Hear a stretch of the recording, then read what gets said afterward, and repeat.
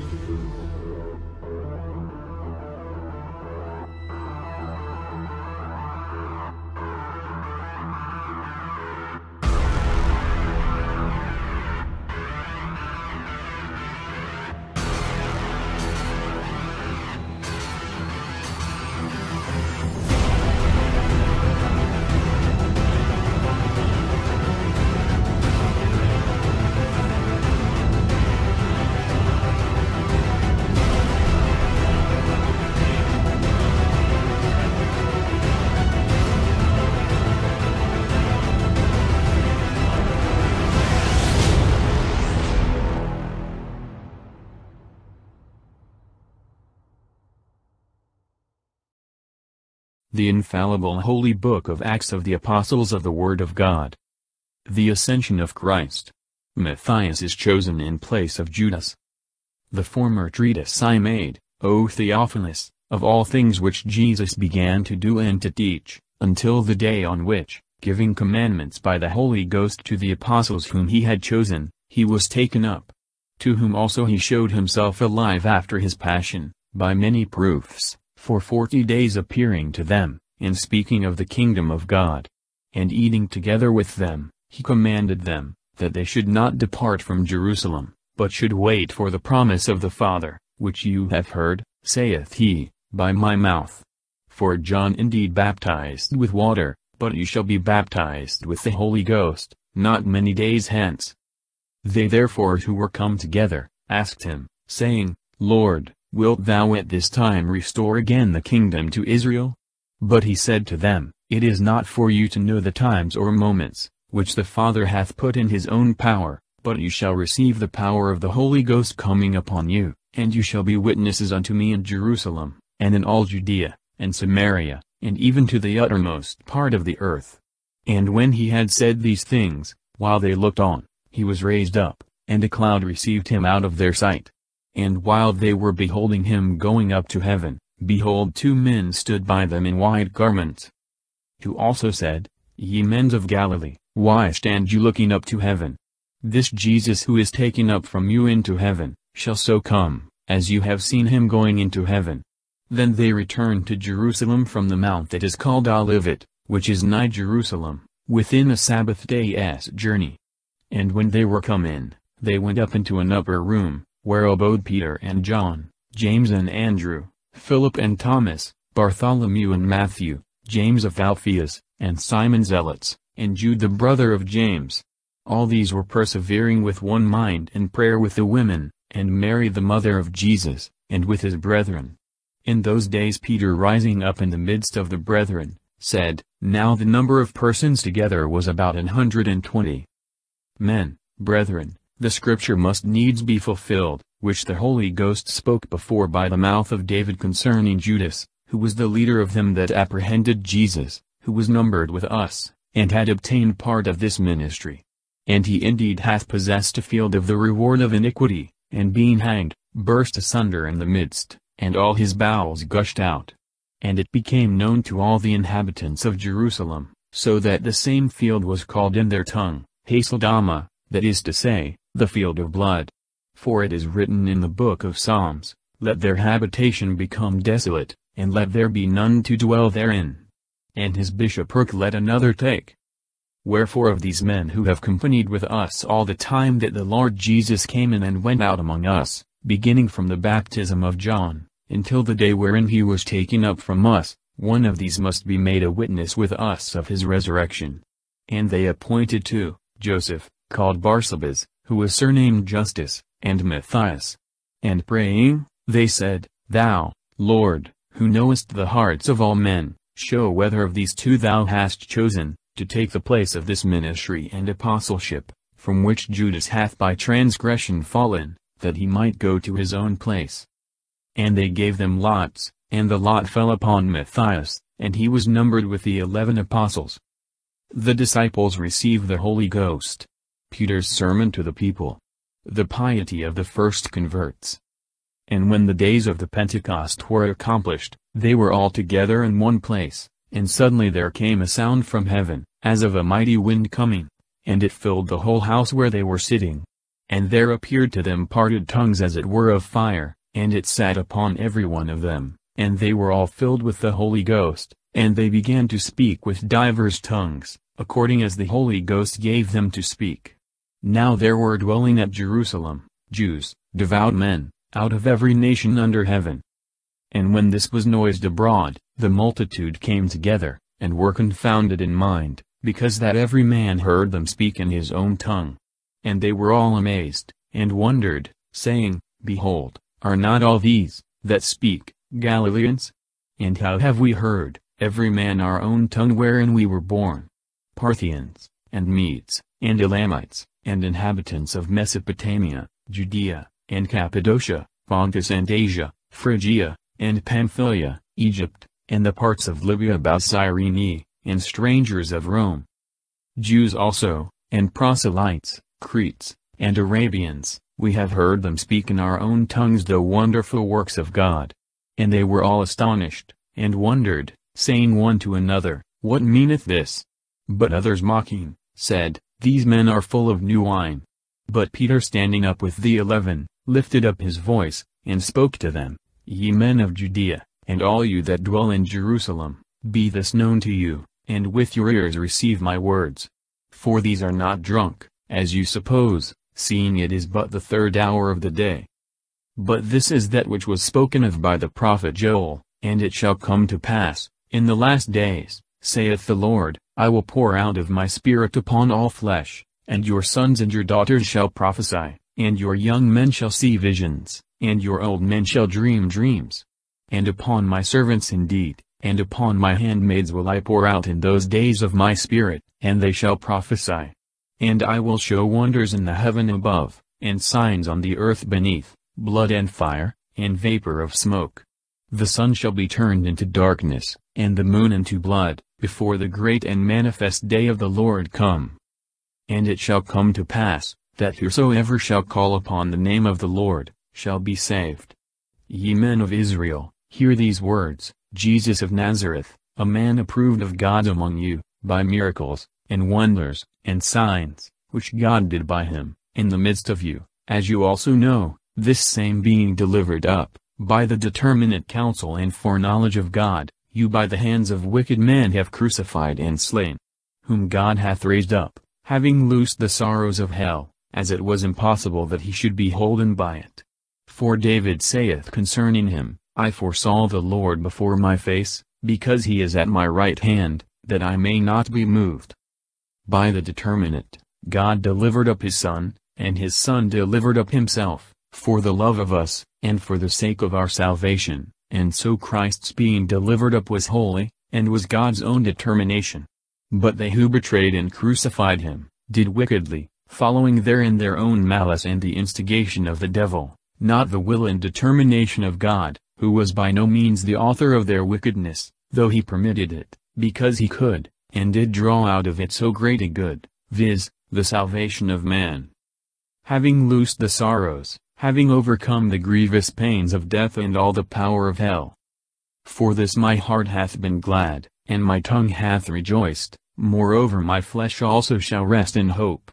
Because thou wilt not leave my soul in hell, nor suffer thy Holy One to see corruption. Thou hast made known to me the ways of life, Thou shalt make me full of joy with thy countenance. Ye men, brethren, let me freely speak to you of the patriarch David, that he died, and was buried, and his sepulchre is with us to this present day. Whereas therefore he was a prophet, and knew that God hath sworn to him with an oath, that of the fruit of his loins one should sit upon his throne. Foreseeing this, he spoke of the resurrection of Christ. For neither was he left in hell, neither did his flesh see corruption. This Jesus hath God raised again, whereof all we are witnesses. Being exalted therefore by the right hand of God, and having received of the Father the promise of the Holy Ghost, he hath poured forth this which you see and hear. For David ascended not into heaven, but he himself said, The Lord said to my Lord, Sit thou on my right hand, until I make thy enemies thy footstool. Therefore let all the house of Israel know most certainly, that God hath made both Lord and Christ, this same Jesus, whom you have crucified. Now when they had heard these things, they had compunction in their heart, and said to Peter, and to the rest of the apostles, What shall we do, men and brethren? But Peter said to them, Do penance, and be baptized every one of you in the name of Jesus Christ, for the remission of your sins, and you shall receive the gift of the Holy Ghost. For the promise is to you, and to your children, and to all that are far off, whomsoever the Lord our God shall call. And with very many other words did he testify and exhort them, saying, Save yourselves from this perverse generation. They therefore that received his word, were baptized, and there were added in that day about three thousand souls. And they were persevering in the doctrine of the apostles, and in the communication of the breaking of bread, and in prayers and fear came upon every soul. Many wonders also and signs were done by the apostles in Jerusalem, and there was great fear in all. And all they that believed, were together, and had all things common. Their possessions and goods they sold, and divided them to all, according as every one had need.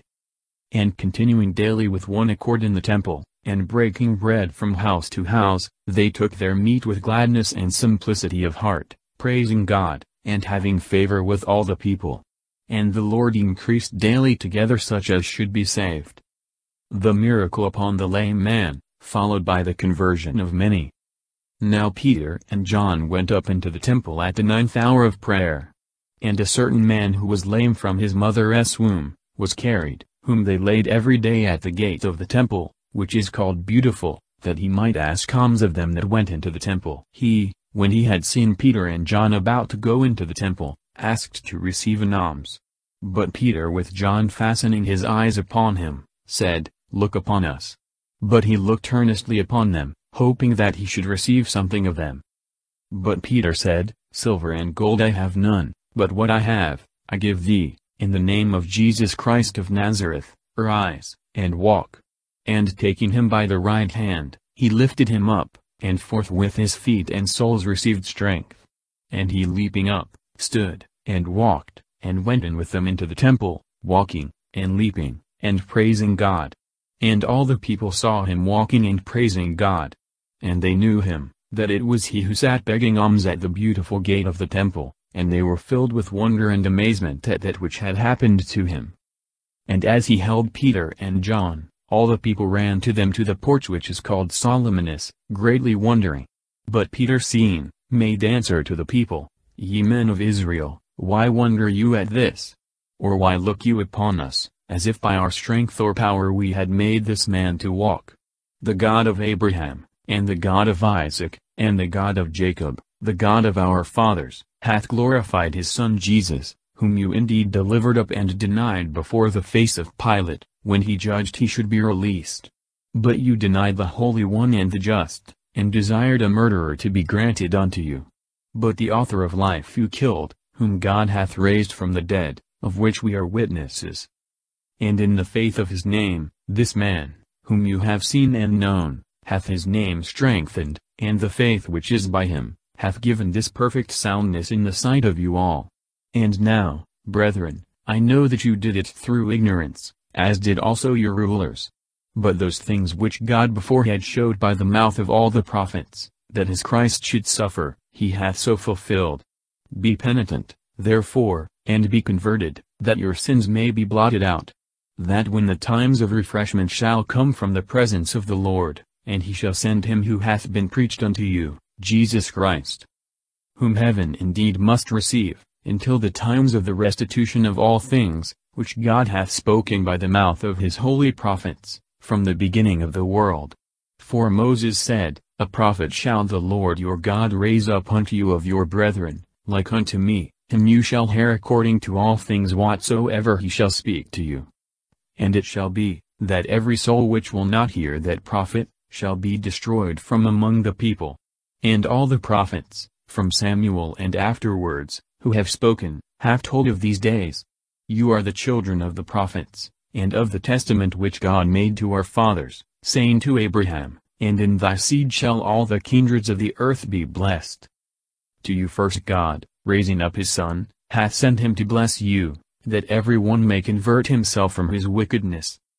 Peter and John are apprehended, their constancy. The church is increased. And as they were speaking to the people, the priests, and the officer of the temple, and the Sadducees, came upon them, being grieved that they taught the people, and preached in Jesus the resurrection from the dead, and they laid hands upon them, and put them in hold till the next day, for it was now evening. But many of them who had heard the word, believed, and the number of the men was made five thousand. And it came to pass on the morrow, that their princes, and ancients, and scribes, were gathered together in Jerusalem. And Annas the high priest, and Caiaphas, and John, and Alexander, and as many as were of the kindred of the high priest. And setting them in the midst, they asked, By what power, or by what name, have you done this?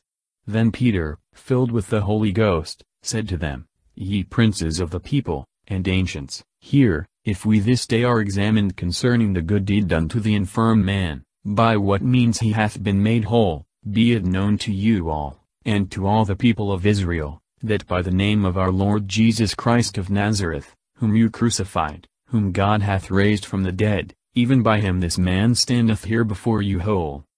This is the stone which was rejected by you the builders, which is become the head of the corner. Neither is there salvation in any other. For there is no other name under heaven given to men, whereby we must be saved. Now seeing the constancy of Peter and of John, understanding that they were illiterate and ignorant men, they wondered, and they knew them that they had been with Jesus. Seeing the man also who had been healed standing with them, they could say nothing against it. But they commanded them to go aside out of the council, and they conferred among themselves, saying, What shall we do to these men? For indeed a known miracle hath been done by them, to all the inhabitants of Jerusalem, it is manifest, and we cannot deny it. But that it may be no farther spread among the people, let us threaten them that they speak no more in this name to any man. And calling them, they charge them not to speak at all, nor teach in the name of Jesus. But Peter and John answering, said to them, If it be just in the sight of God, to hear you rather than God, judge ye. For we cannot but speak the things which we have seen and heard. But they threatening, sent them away, not finding how they might punish them, because of the people, for all men glorified what had been done, in that which had come to pass. For the man was above forty years old, in whom that miraculous cure had been wrought. And being let go, they came to their own company, and related all that the chief priests and ancients had said to them. Who having heard it, with one accord lifted up their voice to God, and said, Lord, Thou art he that didst make heaven and earth, the sea, and all things that are in them. Who, by the Holy Ghost, by the mouth of our father David, thy servant, hast said, Why did the Gentiles rage, and the people meditate vain things? The kings of the earth stood up, and the princes assembled together against the Lord and his Christ. For of a truth there assembled together in this city against thy holy child Jesus, whom thou hast anointed, Herod, and Pontius Pilate, with the Gentiles and the people of Israel, to do what thy hand and thy counsel decreed to be done. And now, Lord, behold their threatenings, and grant unto thy servants, that with all confidence they may speak thy word, by stretching forth thy hand to cures, and signs, and wonders to be done by the name of thy holy Son Jesus. And when they had prayed, the place was moved wherein they were assembled, and they were all filled with the Holy Ghost, and they spoke the word of God with confidence. And the multitude of believers had but one heart and one soul, neither did any one say that aught of the things which he possessed, was his own, but all things were common unto them. And with great power did the apostles give testimony of the resurrection of Jesus Christ our Lord, and great grace was in them all. For neither was there any one needy among them. For as many as were owners of lands or houses, sold them, and brought the price of the things they sold, and laid it down before the feet of the apostles. And distribution was made to every one, according as he had need. And Joseph, who, by the apostles, was surnamed Barnabas, which is, by interpretation, the son of consolation, a Levite, a Cyprian born, having land, sold it, and brought the price, and laid it at the feet of the apostles. The judgment of God upon Ananias and Sapphira. The apostles are cast into prison. But a certain man named Ananias, with Sapphira his wife, sold a piece of land, and by fraud kept back part of the price of the land, his wife being privy thereunto, and bringing a certain part of it, laid it at the feet of the apostles. But Peter said, Ananias, why hath Satan tempted thy heart, that thou shouldst lie to the Holy Ghost, and by fraud keep part of the price of the land? Whilst it remained, did it not remain to thee? And after it was sold, was it not in thy power? Why hast thou conceived this thing in thy heart? Thou hast not lied to men, but to God. And Ananias hearing these words, fell down, and gave up the ghost. And there came great fear upon all that heard it. And the young men rising up, removed him, and carrying him out, buried him. And it was about the space of three hours after, when his wife, not knowing what had happened, came in. And Peter said to her, Tell me, woman, whether you sold the land for so much? And she said, Yea, for so much. And Peter said unto her, Why have you agreed together to tempt the Spirit of the Lord? Behold the feet of them who have buried thy husband are at the door, and they shall carry thee out. Immediately she fell down before his feet, and gave up the ghost. And the young men coming in, found her dead, and carried her out, and buried her by her husband. And there came great fear upon the whole church, and upon all that heard these things. And by the hands of the apostles were many signs and wonders wrought among the people. And they were all with one accord in Solomon's porch. But of the rest no man durst join himself unto them, but the people magnified them. And the multitude of men and women who believed in the Lord, was more increased, insomuch that they brought forth the sick into the streets, and laid them on beds and couches, that when Peter came, his shadow at the least, might overshadow any of them, and they might be delivered from their infirmities. And there came also together to Jerusalem a multitude out of the neighboring cities, bringing sick persons, and such as were troubled with unclean spirits, who were all healed. Then the high priest rising up, and all they that were with him, which is the heresy of the Sadducees, were filled with envy. And they laid hands on the apostles, and put them in the common prison. But an angel of the Lord by night opening the doors of the prison, and leading them out, said, Go, and standing speak in the temple to the people all the words of this life. Who having heard this, early in the morning, entered into the temple, and taught. And the high priest coming, and they that were with him, called together the council, and all the ancients of the children of Israel, and they sent to the prison to have them brought, but when the ministers came, and opening the prison, found them not there, they returned and told, saying, The prison indeed we found shut with all diligence, and the keepers standing before the doors, but opening it, we found no man within. Now when the officer of the temple and the chief priests heard these words, they were in doubt concerning them, what would come to pass. But one came and told them, Behold, the men whom you put in prison are in the temple standing, and teaching the people. Then went the officer with the ministers, and brought them without violence, for they feared the people, lest they should be stoned. And when they had brought them, they set them before the council. And the high priest asked them, saying, Commanding we commanded you, that you should not teach in this name, and behold, you have filled Jerusalem with your doctrine, and you have a mind to bring the blood of this man upon us. But Peter and the apostles answering, said, We ought to obey God, rather than men. The God of our fathers hath raised up Jesus, whom you put to death, hanging him upon a tree. Him hath God exalted with his right hand, to be Prince and Saviour, to give repentance to Israel, and remission of sins. And we are witnesses of these things and the Holy Ghost, whom God hath given to all that obey him. When they had heard these things, they were cut to the heart, and they thought to put them to death.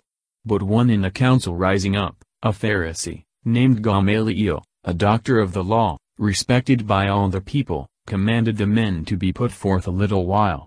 And he said to them, Ye men of Israel, take heed to yourselves what you intend to do, as touching these men. For before these days rose up Theudas, affirming himself to be somebody, to whom a number of men, about four hundred, joined themselves, who was slain, and all that believed him were scattered, and brought to nothing. After this man, rose up Judas of Galilee, in the days of the enrolling, and drew away the people after him, he also perished, and all, even as many as consented to him, were dispersed. And now, therefore, I say to you, refrain from these men, and let them alone, for if this counsel or this work be of men, it will come to naught, but if it be of God, you cannot overthrow it, lest perhaps you be found even to fight against God. And they consented to him and calling in the apostles, after they had scourged them, they charged them that they should not speak at all in the name of Jesus, and they dismissed them. And they indeed went from the presence of the council, rejoicing that they were accounted worthy to suffer reproach for the name of Jesus.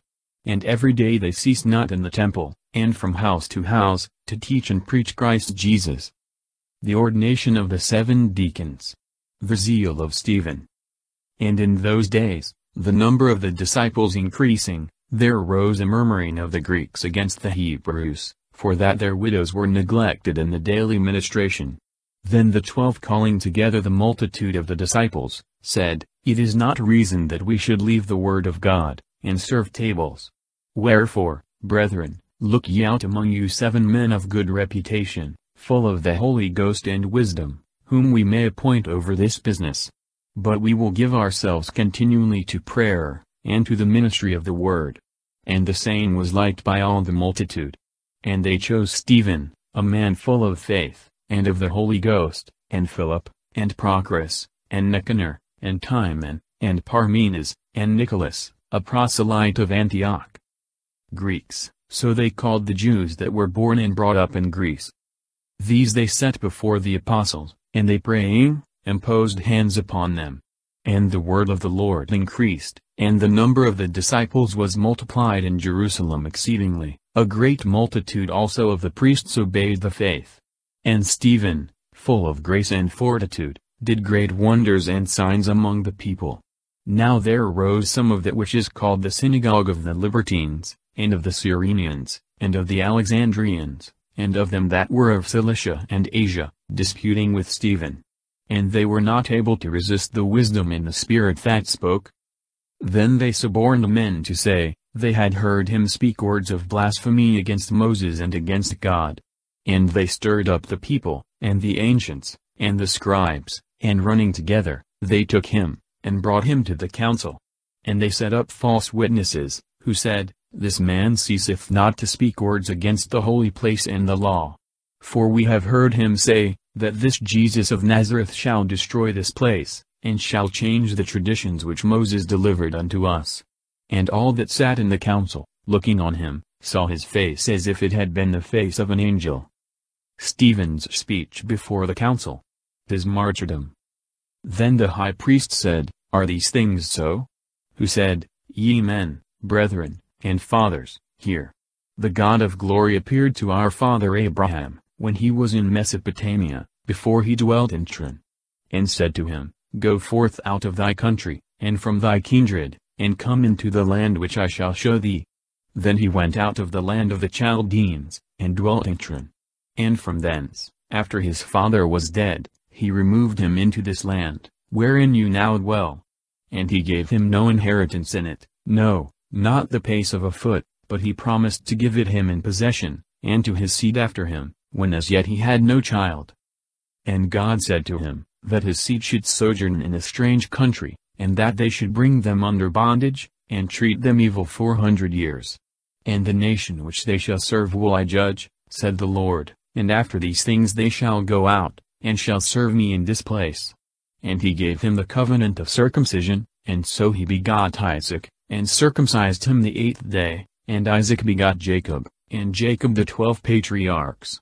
And the patriarchs, through envy, sold Joseph into Egypt, and God was with him, and delivered him out of all his tribulations, and he gave him favor and wisdom in the sight of Pharaoh, the king of Egypt, and he appointed him governor over Egypt, and over all his house.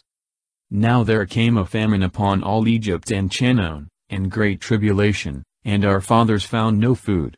But when Jacob had heard that there was corn in Egypt, he sent our fathers first, and at the second time, Joseph was known by his brethren, and his kindred was made known to Pharaoh. And Joseph sending, called thither Jacob, his father, and all his kindred, seventy-five souls. So Jacob went down into Egypt, and he died, and our fathers. And they were translated into Sychem, and were laid in the sepulchre, that Abraham bought for a sum of money of the sons of Hemor, the son of Sychem. And when the time of the promise drew near, which God had promised to Abraham, the people increased, and were multiplied in Egypt, till another king arose in Egypt, who knew not Joseph. This same dealing craftily with our race, afflicted our fathers, that they should expose their children, to the end they might not be kept alive. At the same time was Moses born, and he was acceptable to God, who was nourished three months in his father's house.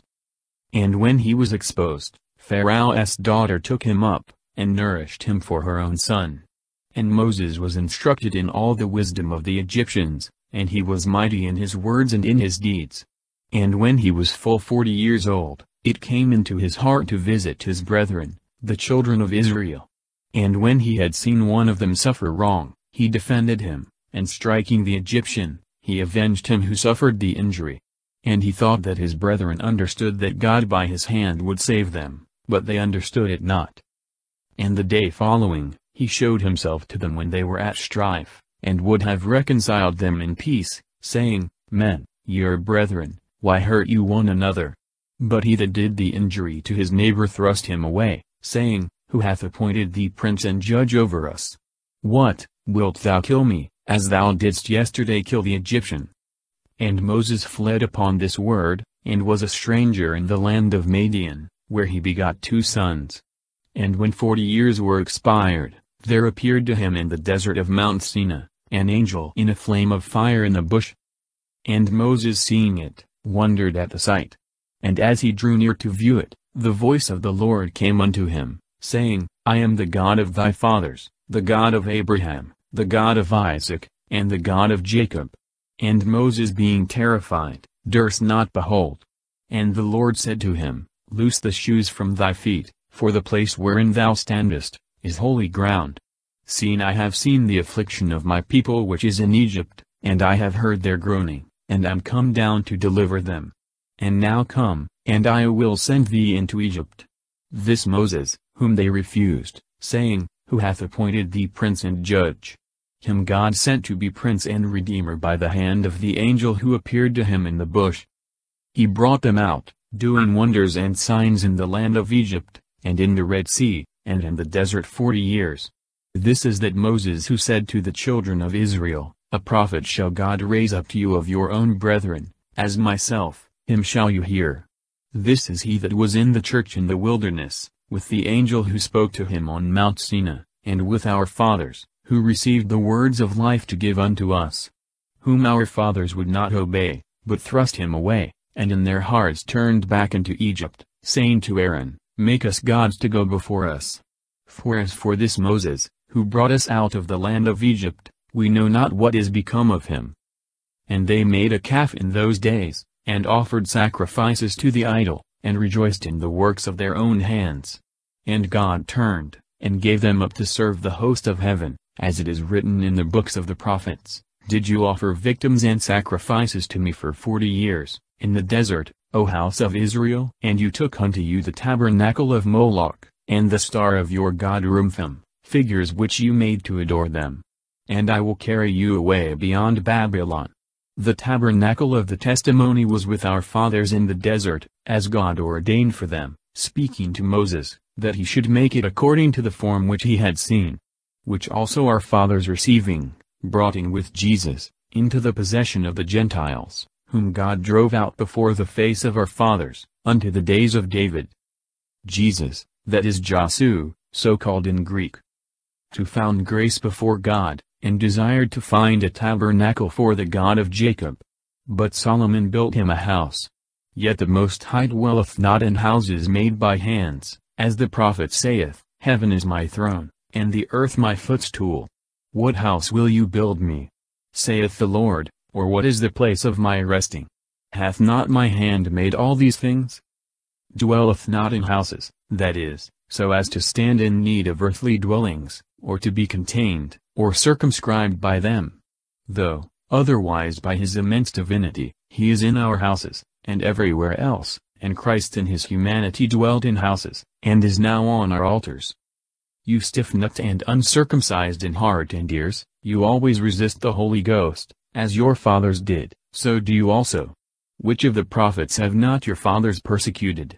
And they have slain them who foretold of the coming of the Just One, of whom you have been now the betrayers and murderers, who have received the law by the disposition of angels, and have not kept it. Now hearing these things, they were cut to the heart, and they gnashed with their teeth at him. But he, being full of the Holy Ghost, looking up steadfastly to heaven, saw the glory of God, and Jesus standing on the right hand of God. And he said, Behold, I see the heavens opened, and the Son of Man standing on the right hand of God. And they crying out with a loud voice, stopped their ears, and with one accord ran violently upon him. And casting him forth without the city, they stoned him, and the witnesses laid down their garments at the feet of a young man, whose name was Saul. And they stoned Stephen, invoking, and saying, Lord Jesus, receive my spirit. And falling on his knees, he cried with a loud voice, saying, Lord, lay not this sin to their charge. And when he had said this, he fell asleep in the Lord. And Saul was consenting to his death. Philip converts the Samaritans and baptizes the eunuch. And at that time there was raised a great persecution against the church which was at Jerusalem, and they were all dispersed through the countries of Judea, and Samaria, except the apostles. And devout men took order for Stephen's funeral, and made great mourning over him. But Saul made havoc of the church, entering in from house to house, and dragging away men and women, committed them to prison. They therefore that were dispersed, went about preaching the word of God. And Philip going down to the city of Samaria, preached Christ unto them. And the people with one accord were attentive to those things which were said by Philip, hearing, and seeing the miracles which he did. For many of them who had unclean spirits, crying with a loud voice, went out. And many, taken with the palsy, and that were lame, were healed. There was therefore great joy in that city. Now there was a certain man named Simon, who before had been a magician in that city, seducing the people of Samaria, giving out that he was some great one, to whom they all gave ear, from the least to the greatest, saying, This man is the power of God, which is called great. And they were attentive to him, because, for a long time, he had bewitched them with his magical practices. But when they had believed Philip preaching of the kingdom of God, in the name of Jesus Christ, they were baptized, both men and women. Then Simon himself believed also, and being baptized, he adhered to Philip. And being astonished, wondered to see the signs and exceeding great miracles which were done. Now when the apostles, who were in Jerusalem, had heard that Samaria had received the word of God, they sent unto them Peter and John. Who, when they were come, prayed for them, that they might receive the Holy Ghost. For he was not as yet come upon any of them, but they were only baptized in the name of the Lord Jesus. Then they laid their hands upon them, and they received the Holy Ghost. And when Simon saw, that by the imposition of the hands of the apostles, the Holy Ghost was given, he offered them money, saying, Give me also this power, that on whomsoever I shall lay my hands, he may receive the Holy Ghost. But Peter said to him, Keep thy money to thyself, to perish with thee, because thou hast thought that the gift of God may be purchased with money. They laid their hands upon them, the apostles administered the sacrament of confirmation, by imposition of hands, and prayer, and the faithful thereby received the Holy Ghost. Not but they had received the grace of the Holy Ghost at their baptism, yet not that plenitude of grace and those spiritual gifts which they afterwards received from bishops in the sacrament of confirmation, which strengthened them to profess their faith publicly. Thou hast no part nor lot in this matter. For thy heart is not right in the sight of God. Do penance therefore for this thy wickedness, and pray to God, that perhaps this thought of thy heart may be forgiven thee. For I see thou art in the gall of bitterness, and in the bonds of iniquity. Then Simon answering, said, Pray you for me to the Lord, that none of these things which you have spoken may come upon me. And they indeed having testified and preached the word of the Lord, returned to Jerusalem, and preached the gospel to many countries of the Samaritans.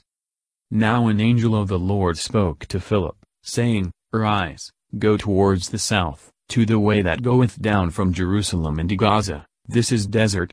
And rising up, he went. And behold a man of Ethiopia, an eunuch, of great authority under Candace the queen of the Ethiopians, who had charge over all her treasures, had come to Jerusalem to adore. And he was returning, sitting in his chariot, and reading Isaiah the prophet. And the Spirit said to Philip, Go near, and join thyself to this chariot. And Philip running thither, heard him reading the prophet Isaiah. And he said, Thinkest thou that thou understandest what thou readest? Who said, And how can I, unless some man show me? And he desired Philip that he would come up and sit with him. And the place of the scripture which he was reading was this, He was led as a sheep to the slaughter, and like a lamb without voice before his shearer, so openeth he not his mouth. In humility his judgment was taken away. His generation who shall declare, for his life shall be taken from the earth? And the eunuch answering Philip, said, I beseech thee, of whom doth the prophet speak this? Of himself, or of some other man?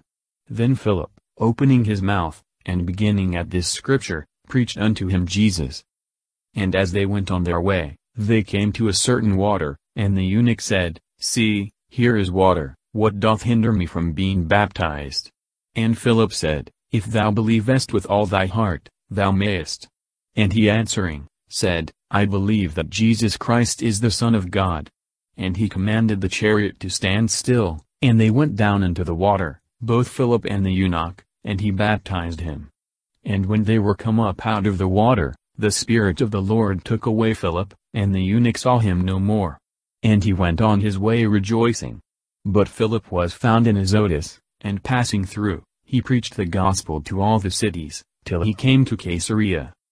If thou believest with all thy heart, the scripture many times mentions only one disposition, as here belief, when others equally necessary are not expressed, viz., a sorrow for sins, a firm hope, and the love of God. Moreover, believing with the whole heart signifies a belief of everything necessary for salvation. Paul's conversion and zeal. Peter heals Aeneas and raises up Tabitha to life. And Saul, as yet breathing out threatenings and slaughter against the disciples of the Lord, went to the high priest, and asked of him letters to Damascus, to the synagogues, that if he found any men and women of this way, he might bring them bound to Jerusalem. And as he went on his journey, it came to pass that he drew nigh to Damascus, and suddenly a light from heaven shined round about him. And falling on the ground, he heard a voice saying to him, Saul, Saul, why persecutest thou me? Who said, Who art thou, Lord? And he, I am Jesus whom thou persecutest. It is hard for thee to kick against the goad. And he trembling and astonished, said, Lord, what wilt thou have me to do? And the Lord said to him, Arise, and go into the city, and there it shall be told thee what thou must do. Now the men who went in company with him, stood amazed, hearing indeed a voice, but seeing no man. And Saul arose from the ground, and when his eyes were opened, he saw nothing. But they leading him by the hands, brought him to Damascus. And he was there three days, without sight, and he did neither eat nor drink. Now there was a certain disciple at Damascus, named Ananias. And the Lord said to him in a vision, Ananias. And he said, Behold I am here, Lord. And the Lord said to him, Arise, and go into the street that is called Strait, and seek in the house of Judas, one named Saul of Tarsus. For behold he proth. And he saw a man named Ananias coming in, and putting his hands upon him, that he might receive his sight. But Ananias answered, Lord, I have heard by many of this man, how much evil he hath done to thy saints in Jerusalem. And here he hath authority from the chief priests to bind all that invoke thy name. And the Lord said to him, Go thy way, for this man is to me a vessel of election, to carry my name before the Gentiles, and kings, and the children of Israel. For I will show him how great things he must suffer for my name's sake. And Ananias went his way, and entered into the house. And laying his hands upon him, he said, Brother Saul, the Lord Jesus hath sent me, he that appeared to thee in the way as thou camest, that thou mayest receive thy sight, and be filled with the Holy Ghost. And immediately there fell from his eyes as it were scales, and he received his sight, and rising up, he was baptized. And when he had taken meat, he was strengthened. And he was with the disciples that were at Damascus, for some days. And immediately he preached Jesus in the synagogues, that he is the Son of God. And all that heard him, were astonished, and said, Is not this he who persecuted in Jerusalem those that called upon this name, and came hither for that intent? that he might carry them bound to the chief priests. But Saul increased much more in strength, and confounded the Jews who dwelt at Damascus, affirming that this is the Christ. And when many days were past, the Jews consulted together to kill him.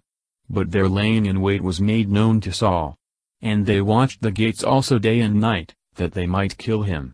But the disciples taking him in the night, conveyed him away by the wall, letting him down in a basket. And when he was come into Jerusalem, he essayed to join himself to the disciples, and they all were afraid of him, not believing that he was a disciple.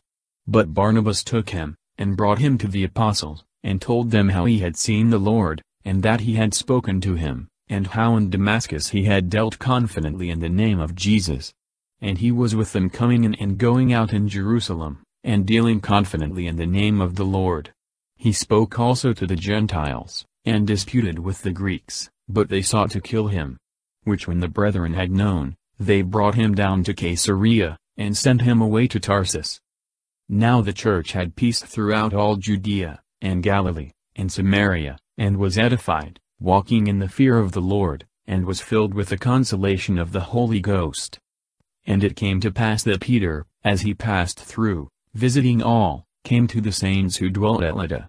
And he found there a certain man named Aeneas, who had kept his bed for eight years, who was ill of the palsy. And Peter said to him, Aeneas, the Lord Jesus Christ healeth thee, arise, and make thy bed. And immediately he arose. And all that dwelt at Lydda and Saron, saw him, who were converted to the Lord. And in Joppa there was a certain disciple named Tabitha, which by interpretation is called Dorcas. This woman was full of good works and alms deeds which she did.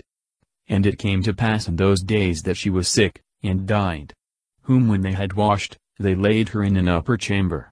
And forasmuch as Lydda was nigh to Joppa, the disciples hearing that Peter was there, sent unto him two men, desiring him that he would not be slack to come unto them. And Peter rising up, went with them. And when he was come, they brought him into the upper chamber, and all the widows stood about him weeping, and showing him the coats and garments which Dorcas made them. And they all being put forth, Peter kneeling down prayed, and turning to the body, he said, Tabitha, arise.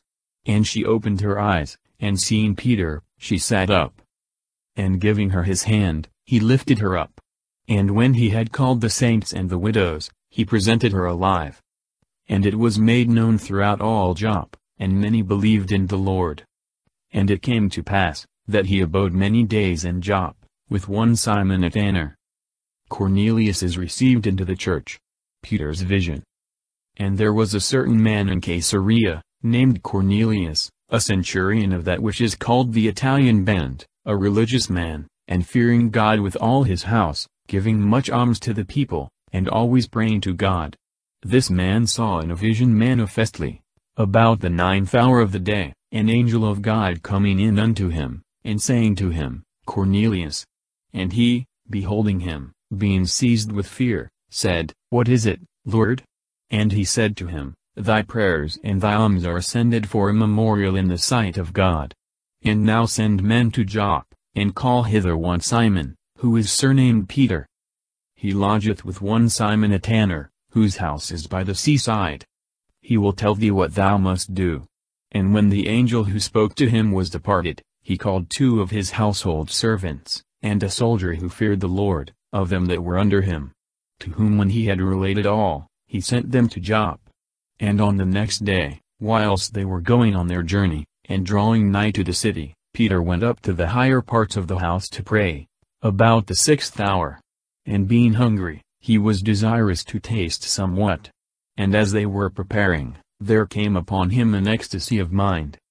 And he saw the heaven opened, and a certain vessel descending, as it were a great linen sheet let down by the four corners from heaven to the earth, wherein were all manner of four-footed beasts, and creeping things of the earth, and fowls of the air.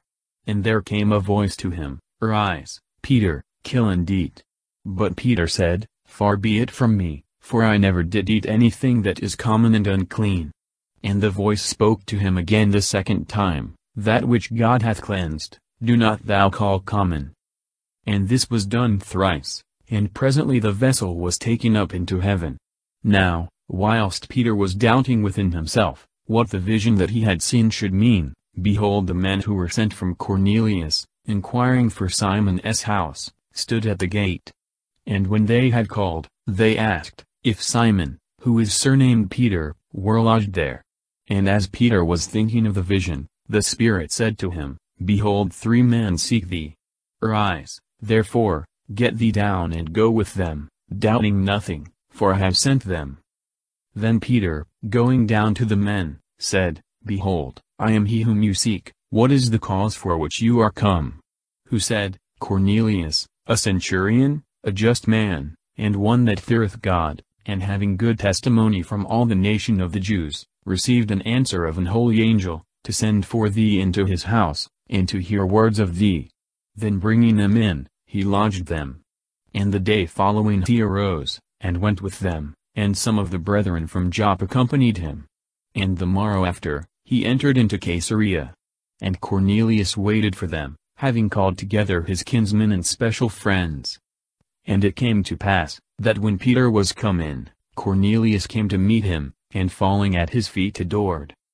But Peter lifted him up, saying, Arise, I myself also am a man. And talking with him, he went in, and found many that were come together. And he said to them, You know how abominable it is for a man that is a Jew, to keep company or to come unto one of another nation, but God hath showed to me, to call no man common or unclean. For which cause, making no doubt, I came when I was sent for. I ask, therefore, for what cause you have sent for me? And Cornelius said, Four days ago, unto this hour, I was praying in my house, at the ninth hour, and behold a man stood before me in white apparel, and said, Cornelius, thy prayer is heard, and thy alms are had in remembrance in the sight of God. Send therefore to Joppa, and call hither Simon, who is surnamed Peter, he lodgeth in the house of Simon a tanner, by the seaside. Immediately therefore I sent to thee, and thou hast done well in coming. Now therefore all we are present in thy sight, to hear all things whatsoever are commanded thee by the Lord. And Peter opening his mouth, said, In very deed I perceive, that God is not a respecter of persons. But in every nation, he that feareth him, and worketh justice, is acceptable to him. In every nation, that is to say, not only Jews, but Gentiles also, of what nation soever, are acceptable to God, if they fear him and work justice. But then true faith is always to be presupposed, without which, saith St. Paul, Hebrews 11 verse 6, it is impossible to please God.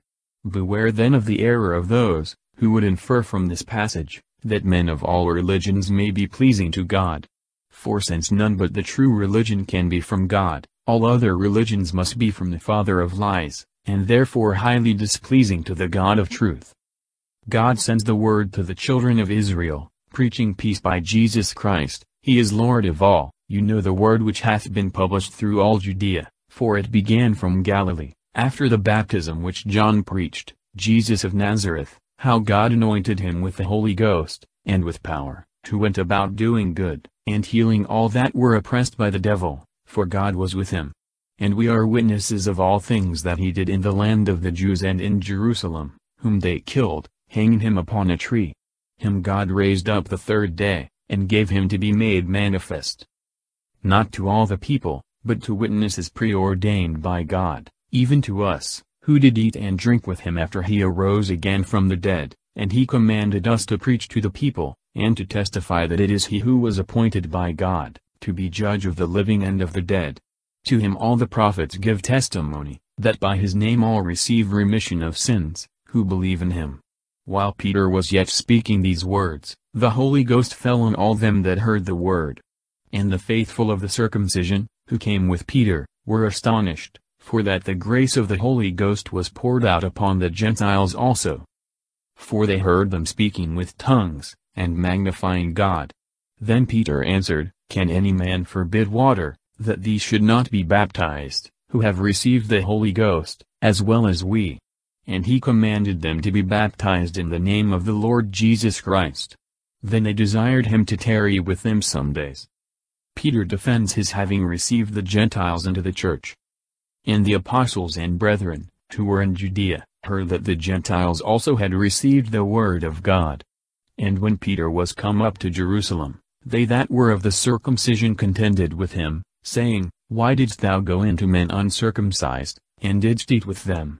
But Peter began and declared to them the matter in order, saying, I was in the city of Joppa praying, and I saw in an ecstasy of mind a vision, a certain vessel descending, as it were a great sheet let down from heaven by four corners, and it came even unto me. Into which looking, I considered, and saw four-footed creatures of the earth, and beasts, and creeping things, and fowls of the air, and I heard also a voice saying to me, Arise, Peter, kill and eat. And I said, Not so, Lord, for nothing common or unclean hath ever entered into my mouth. And the voice answered again from heaven, What God hath made clean, do not thou call common. And this was done three times, and all were taken up again into heaven. And behold, immediately there were three men come to the house wherein I was, sent to me from Caesarea. And the Spirit said to me, that I should go with them, nothing doubting. And these six brethren went with me also, and we entered into the man's house. And he told us how he had seen an angel in his house, standing, and saying to him, Send to Joppa, and call hither Simon, who is surnamed Peter, who shall speak to thee words, whereby thou shalt be saved, and all thy house. And when I had begun to speak, the Holy Ghost fell upon them, as upon us also in the beginning. And I remembered the word of the Lord, how that he said, John indeed baptized with water, but you shall be baptized with the Holy Ghost. If then God gave them the same grace, as to us also who believed in the Lord Jesus Christ, who was I, that could withstand God. Having heard these things, they held their peace, and glorified God, saying, God then hath also to the Gentiles given repentance unto life. Now they who had been dispersed by the persecution that arose on occasion of Stephen, went about as far as Phoenicia and Cyprus and Antioch, speaking the word to none, but to the Jews only. But some of them were men of Cyprus and Cyrene, who, when they were entered into Antioch, spoke also to the Greeks, preaching the Lord Jesus. And the hand of the Lord was with them, and a great number believing, were converted to the Lord. And the tidings came to the ears of the church that was at Jerusalem, touching these things, and they sent Barnabas as far as Antioch. Who, when he was come, and had seen the grace of God, rejoiced, and he exhorted them all with purpose of heart to continue in the Lord. For he was a good man, and full of the Holy Ghost and of faith. And a great multitude was added to the Lord. And Barnabas went to Tarsus to seek Saul, whom, when he had found, he brought to Antioch. And they conversed there in the church a whole year, and they taught a great multitude, so that at Antioch the disciples were first named Christians. And in these days there came prophets from Jerusalem to Antioch, and one of them named Agabus, rising up, signified by the Spirit, that there should be a great famine over the whole world, which came to pass under Claudius. And the disciples, every man according to his ability, purposed to send relief to the brethren who dwelt in Judea, which also they did, sending it to the ancients, by the hands of Barnabas and Saul. Herod's persecution. Peter's deliverance by an angel. Herod's punishment. And at the same time, Herod the king stretched forth his hands, to afflict some of the church.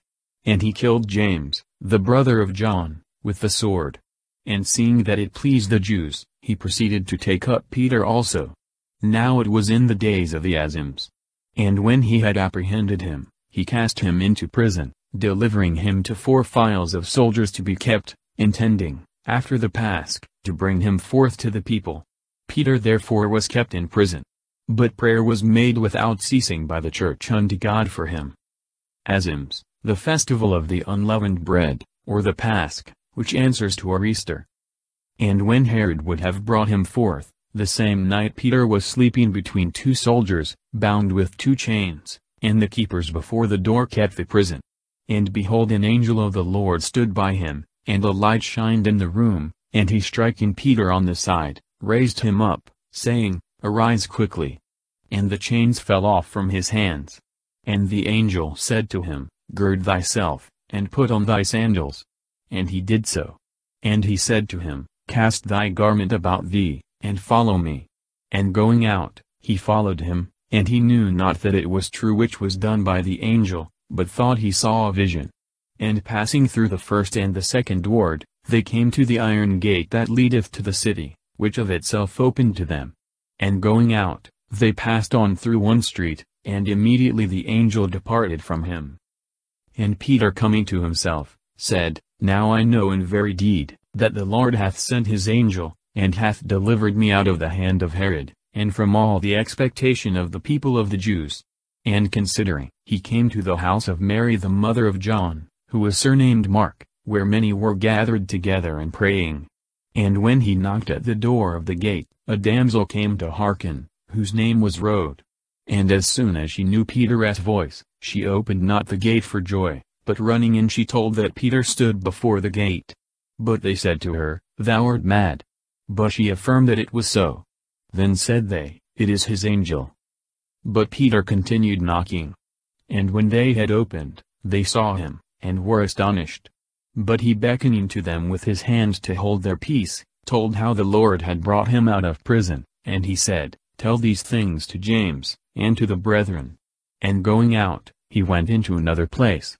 Now when day was come, there was no small stir among the soldiers, what was become of Peter. And when Herod had sought for him, and found him not, having examined the keepers, he commanded they should be put to death, and going down from Judea to Caesarea, he abode there. And he was angry with the Tyrians and the Sidonians. But they with one accord came to him, and having gained Blastus, who was the king's chamberlain, they desired peace, because their countries were nourished by him. And upon a day appointed, Herod being arrayed in kingly apparel, sat in the judgment seat, and made an oration to them. And the people made acclamation, saying, It is the voice of a God, and not of a man.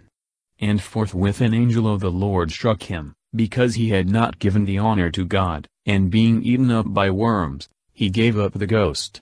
But the word of the Lord increased and multiplied. And Barnabas and Saul returned from Jerusalem, having fulfilled their ministry, taking with them John, who was surnamed Mark. Saul and Barnabas are sent forth by the Holy Ghost.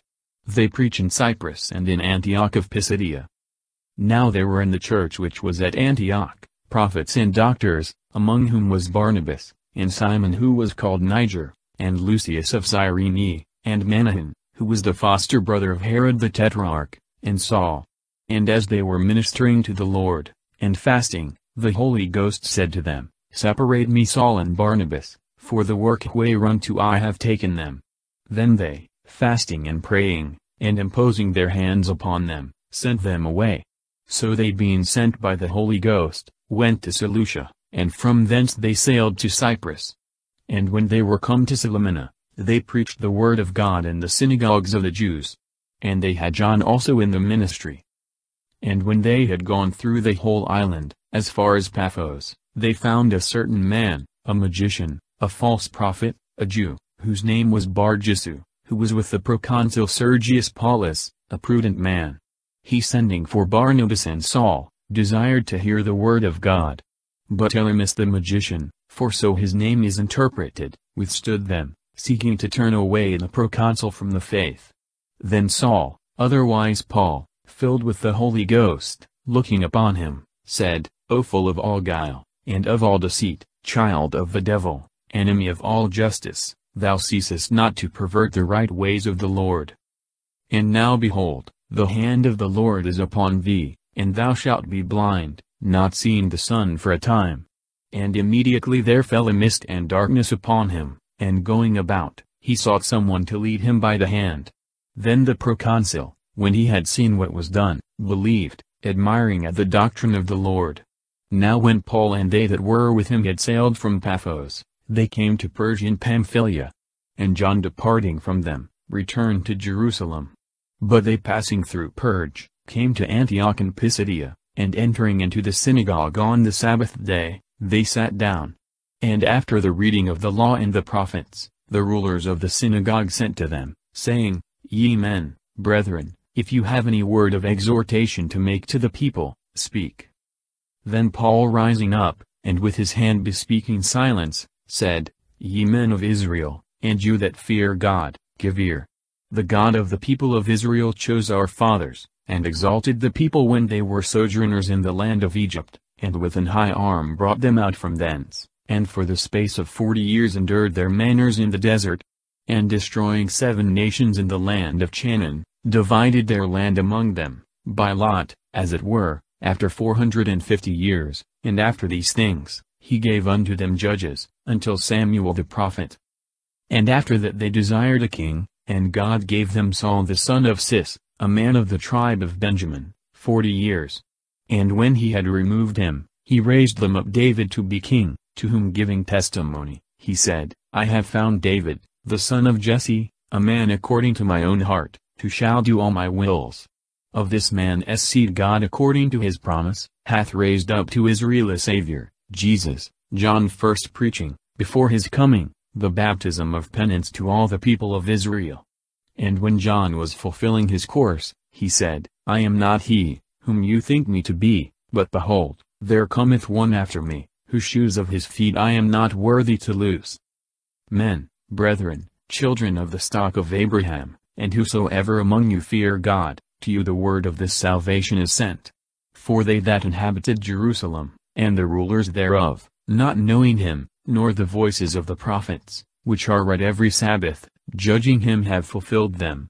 And finding no cause of death in him, they desired of Pilate, that they might kill him. And when they had fulfilled all things that were written of him, taking him down from the tree, they laid him in a sepulchre. But God raised him up from the dead the third day. Who was seen for many days, by them who came up with him from Galilee to Jerusalem, who to this present are his witnesses to the people. And we declare unto you, that the promise which was made to our fathers, this same God hath fulfilled to our children, raising up Jesus, as in the second Psalm also is written, Thou art my son, this day have I begotten thee. And to show that he raised him up from the dead, not to return now any more to corruption, he said thus, I will give you the holy things of David faithful. And therefore, in another place also, he saith, Thou shalt not suffer thy Holy One to see corruption.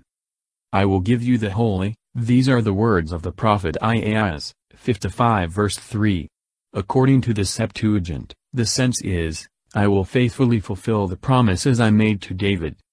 For David, when he had served in his generation, according to the will of God, slept, and was laid unto his fathers, and saw corruption, but he whom God hath raised from the dead, saw no corruption.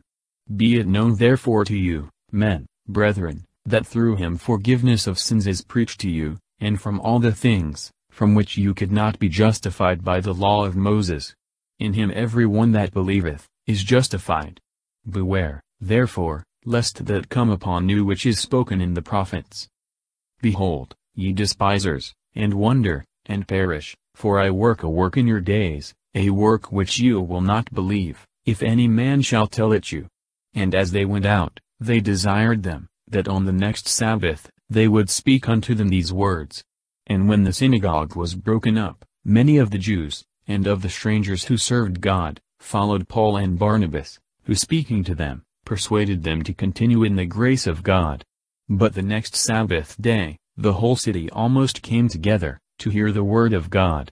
And the Jews seeing the multitudes, were filled with envy, and contradicted those things which were said by Paul, blaspheming. Then Paul and Barnabas said boldly, To you it behoved us first to speak the word of God, but because you reject it, and judge yourselves unworthy of eternal life, behold we turn to the Gentiles. For so the Lord hath commanded us, I have set thee to be the light of the Gentiles, that thou mayest be for salvation unto the utmost part of the earth. And the Gentiles hearing it, were glad, and glorified the word of the Lord, and as many as were ordained to life everlasting, believed. And the word of the Lord was published throughout the whole country. But the Jews stirred up religious and honorable women, and the chief men of the city, and raised persecution against Paul and Barnabas, and cast them out of their coasts. But they, shaking off the dust of their feet against them, came to Iconium. And the disciples were filled with joy and with the Holy Ghost. Paul and Barnabas preach in Iconium and Lystra. Paul heals a cripple. They are taken for gods. Paul is stoned. They preach in Derbe and Perge. And it came to pass in Iconium, that they entered together into the synagogue of the Jews, and so spoke that a very great multitude both of the Jews and of the Greeks did believe. But the unbelieving Jews stirred up and incensed the minds of the Gentiles against the brethren. A long time therefore they abode there, dealing confidently in the Lord, who gave testimony to the word of his grace, granting signs and wonders to be done by their hands. And the multitude of the city was divided, and some of them indeed held with the Jews, but some with the apostles. And when there was an assault made by the Gentiles and the Jews with their rulers, to use them contumeliously, and to stone them. They understanding it, fled to Lystra, and Derbe, cities of Lycaonia, and to the whole country round about, and were there preaching the gospel. And there sat a certain man at Lystra, impotent in his feet, a cripple from his mother's womb, who never had walked. This same heard Paul speaking. Who looking upon him, and seeing that he had faith to be healed, said with a loud voice, Stand upright on thy feet. And he leaped up, and walked. And when the multitudes had seen what Paul had done, they lifted up their voice in the Lycaonian tongue, saying, The gods are come down to us in the likeness of men. And they called Barnabas, Jupiter, but Paul, Mercury, because he was chief speaker. The priest also of Jupiter that was before the city, bringing oxen and garlands before the gate, would have offered sacrifice with the people. Which, when the apostles Barnabas and Paul had heard, rending their clothes, they leaped out among the people, crying, and saying, Ye men, why do ye these things? We also are mortals, men like unto you, preaching to you to be converted from these vain things, to the living God, who made the heaven, and the earth, and the sea, and all things that are in them, who in times past suffered all nations to walk in their own ways. Nevertheless he left not himself without testimony, doing good from heaven, giving rains and fruitful seasons, filling our hearts with food and gladness. And speaking these things, they scarce restrained the people from sacrificing to them. Now there came thither certain Jews from Antioch, and Iconium, and persuading the multitude, and stoning Paul, drew him out of the city, thinking him to be dead. But as the disciples stood round about him, he rose up and entered into the city, and the next day he departed with Barnabas to Derbe. And when they had preached the gospel to that city, and had taught many, they returned again to Lystra, and to Iconium, and to Antioch. Confirming the souls of the disciples, and exhorting them to continue in the faith, and that through many tribulations we must enter into the kingdom of God. And when they had ordained to them priests in every church, and had prayed with fasting, they commended them to the Lord, in whom they believed. And passing through Pisidia, they came into Pamphylia. And having spoken the word of the Lord in Perge, they went down into Attalia, and thence they sailed to Antioch, from whence they had been delivered to the grace of God, unto the work which they accomplished. And when they were come, and had assembled the church, they related what great things God had done with them, and how he had opened the door of faith to the Gentiles and they abode no small time with the disciples. A dissension about circumcision. The decision and letter of the Council of Jerusalem. And some coming down from Judea, taught the brethren, that except you be circumcised after the manner of Moses, you cannot be saved. And when Paul and Barnabas had no small contest with them, they determined that Paul and Barnabas, and certain others of the other side, should go up to the apostles and priests to Jerusalem about this question.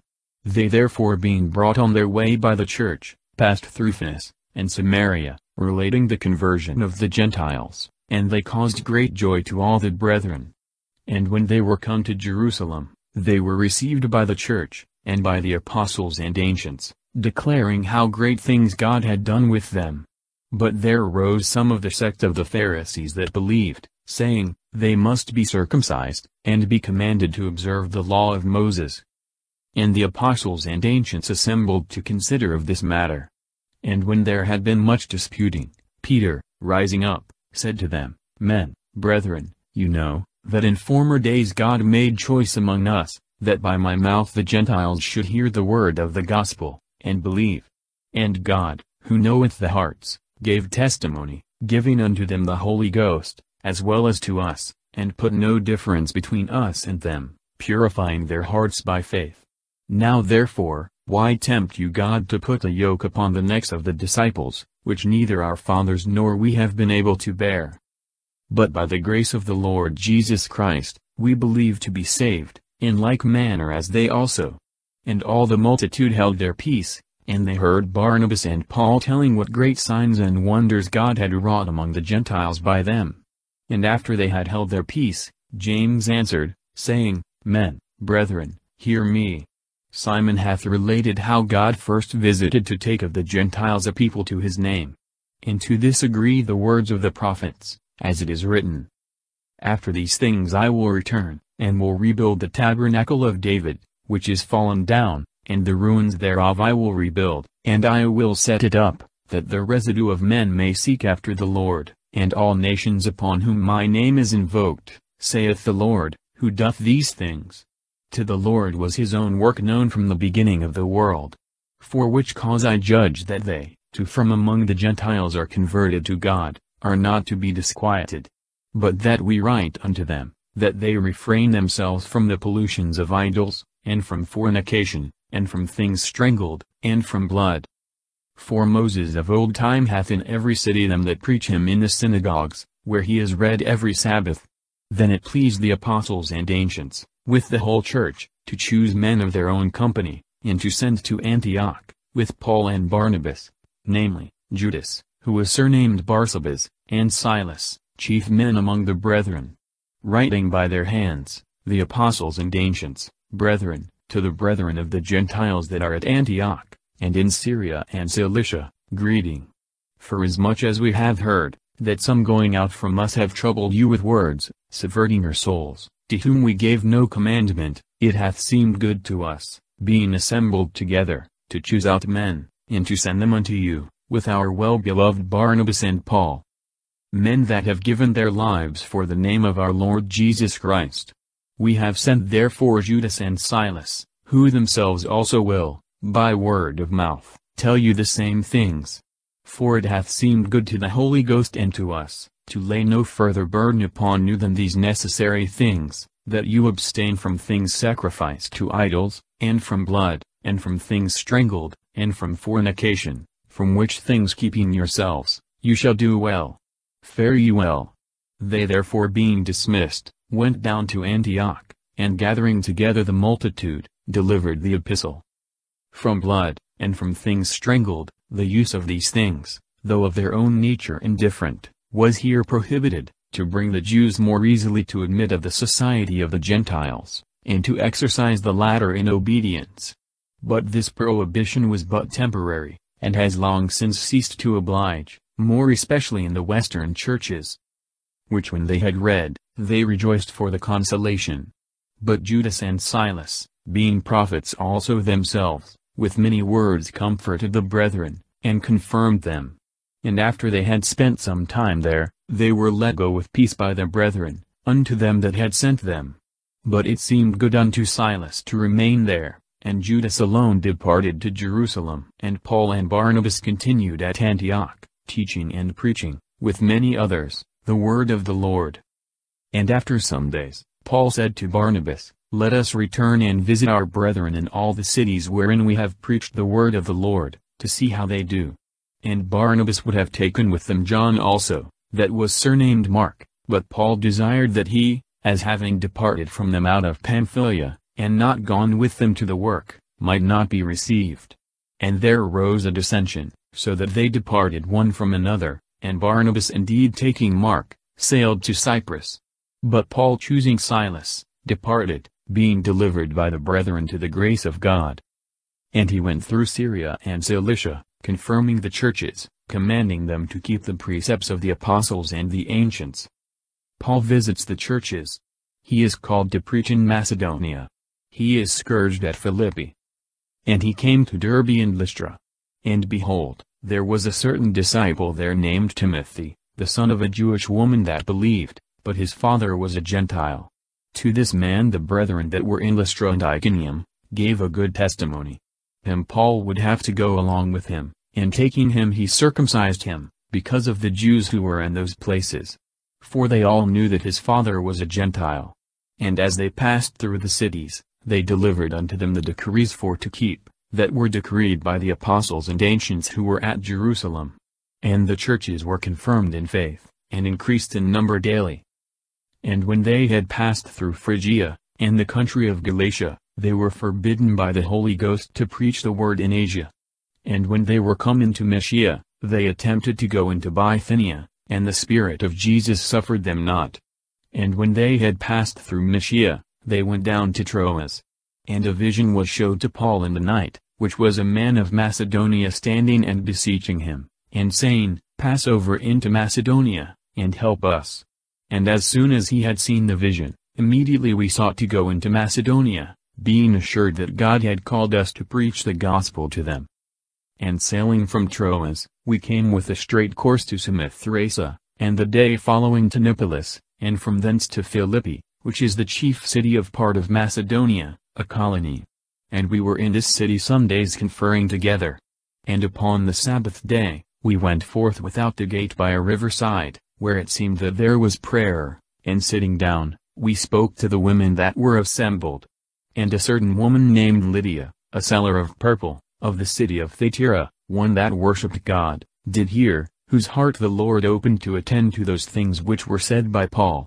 And when she was baptized, and her household, she besought us, saying, If you have judged me to be faithful to the Lord, come into my house, and abide there. And she constrained us. And it came to pass, as we went to prayer, a certain girl, having a pythonical spirit, met us, who brought to her masters much gain by divining. This same following Paul and us, cried out, saying, These men are the servants of the Most High God, who preach unto you the way of salvation. And this she did many days. But Paul being grieved, turned, and said to the Spirit, I command thee, in the name of Jesus Christ, to go out from her. And he went out the same hour. But her masters, seeing that the hope of their gain was gone, apprehending Paul and Silas, brought them into the marketplace to the rulers. And presenting them to the magistrates, they said, These men disturb our city, being Jews. A pythonical spirit, that is, a spirit pretending to divine, and tell fortunes. And preach a fashion which it is not lawful for us to receive nor observe, being Romans. And the people ran together against them, and the magistrates rending off their clothes, commanded them to be beaten with rods. And when they had laid many stripes upon them, they cast them into prison, charging the jailer to keep them diligently. Who having received such a charge, thrust them into the inner prison, and made their feet fast in the stocks. And at midnight, Paul and Silas praying, praised God. And they that were in prison, heard them. And suddenly there was a great earthquake, so that the foundations of the prison were shaken. And immediately all the doors were opened, and the bands of all were loosed. And the keeper of the prison, awaking out of his sleep, and seeing the doors of the prison open, drawing his sword, would have killed himself, supposing that the prisoners had been fled. But Paul cried with a loud voice, saying, Do thyself no harm, for we all are here. Then calling for a light, he went in, and trembling, fell down at the feet of Paul and Silas. And bringing them out, he said, Masters, what must I do, that I may be saved? But they said, Believe in the Lord Jesus, and thou shalt be saved, and thy house. And they preached the word of the Lord to him and to all that were in his house. And he, taking them the same hour of the night, washed their stripes, and himself was baptized, and all his house immediately. And when he had brought them into his own house, he laid the table for them, and rejoiced with all his house, believing God. And when the day was come, the magistrates sent the sergeants, saying, Let those men go. And the keeper of the prison told these words to Paul, The magistrates have sent to let you go, now therefore depart, and go in peace. But Paul said to them, They have beaten us publicly, uncondemned, men that are Romans, and have cast us into prison, and now do they thrust us out privately? Not so, but let them come, and let us out themselves. And the sergeants told these words to the magistrates. And they were afraid, hearing that they were Romans. And coming, they besought them, and bringing them out, they desired them to depart out of the city. And they went out of the prison, and entered into the house of Lydia, and having seen the brethren, they comforted them, and departed. Paul preaches to the Thessalonians and Bereans. His discourse to the Athenians. And when they had passed through Amphipolis and Apollonia, they came to Thessalonica, where there was a synagogue of the Jews.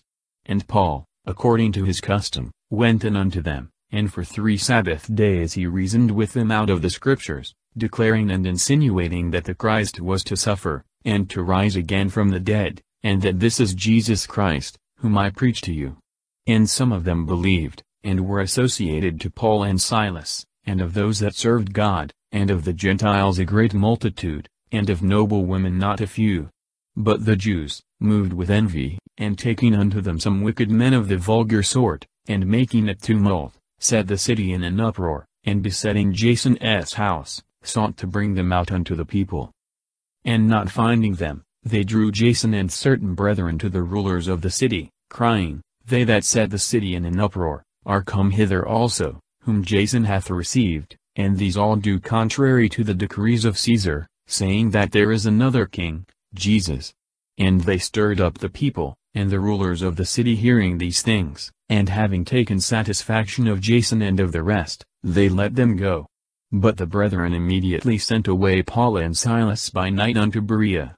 Who, when they were come thither, went into the synagogue of the Jews. City, Urbum. In the Greek, the world. Now these were more noble than those in Thessalonica, who received the word with all eagerness, daily searching the scriptures, whether these things were so. And many indeed of them believed, and of honorable women that were Gentiles, and of men not a few. And when the Jews of Thessalonica had knowledge that the word of God was also preached by Paul at Berea, they came thither also, stirring up and troubling the multitude. And then immediately the brethren sent away Paul, to go unto the sea, but Silas and Timothy remained there. And they that conducted Paul, brought him as far as Athens, and receiving a commandment from him to Silas and Timothy, that they should come to him with all speed, they departed. More noble, the Jews of Berea are justly commended, for their eagerly embracing the truth, and searching the Scriptures, to find out the texts alleged by the Apostle, which was a far more generous proceeding than that of their countrymen at Thessalonica, who persecuted the preachers of the gospel, without examining the grounds they alleged for what they taught.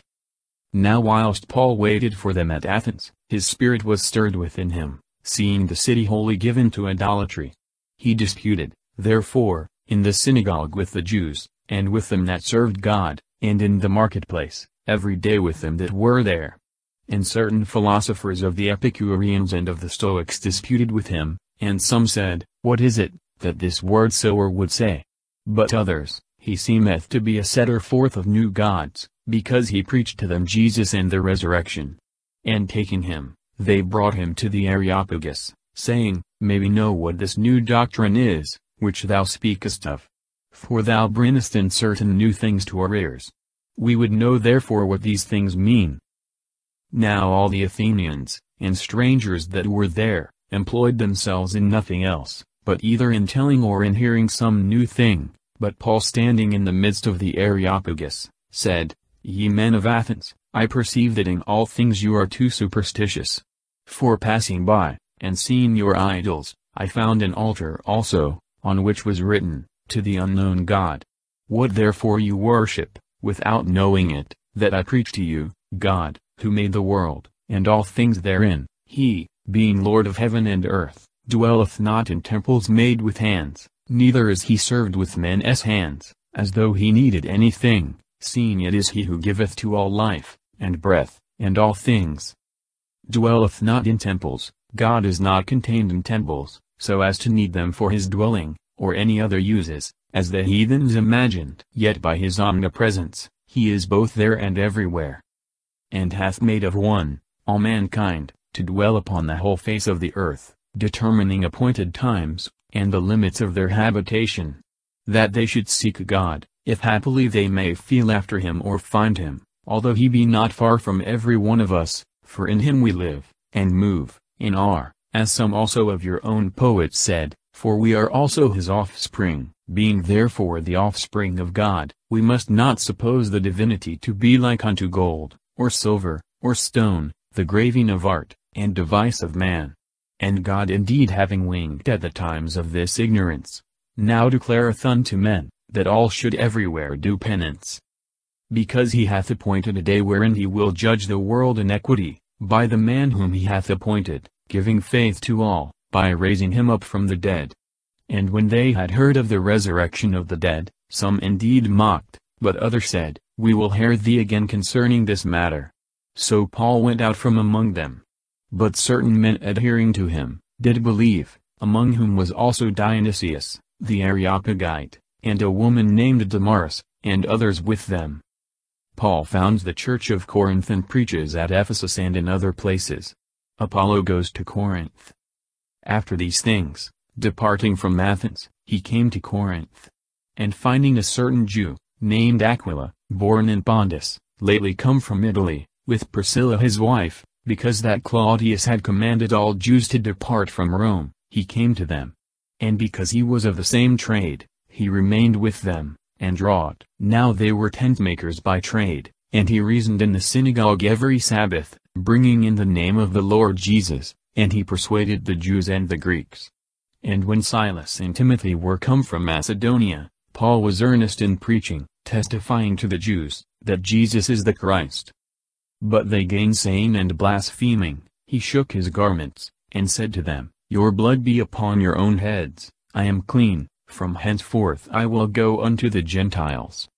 And departing thence, he entered into the house of a certain man, named Titus Justus, one that worshipped God, whose house was adjoining to the synagogue. And Crispus, the ruler of the synagogue, believed in the Lord, with all his house, and many of the Corinthians hearing, believed, and were baptized. And the Lord said to Paul in the night, by a vision, Do not fear, but speak, and hold not thy peace, because I am with thee, and no man shall set upon thee, to hurt thee, for I have much people in this city. And he stayed there a year and six months, teaching among them the word of God. But when Gallio was proconsul of Achaia, the Jews with one accord rose up against Paul, and brought him to the judgment seat, saying, This man persuadeth men to worship God contrary to the law. And when Paul was beginning to open his mouth, Gallio said to the Jews, If it were some matter of injustice, or an heinous deed, O Jews, I should with reason bear with you. But if they be questions of word and names, and of your law, look you to it, I will not be judge of such things. And he drove them from the judgment seat. And all laying hold on Sosthenes, the ruler of the synagogue, beat him before the judgment seat, and Gallio cared for none of those things. But Paul, when he had stayed yet many days, taking his leave of the brethren, sailed thence into Syria, and with him Priscilla and Aquila, having shorn his head in Cenchreae, for he had a vow. And he came to Ephesus, and left them there.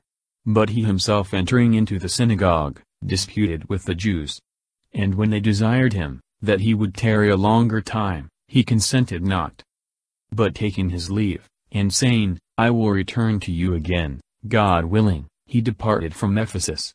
And going down to Caesarea, he went up to Jerusalem, and saluted the church, and so came down to Antioch.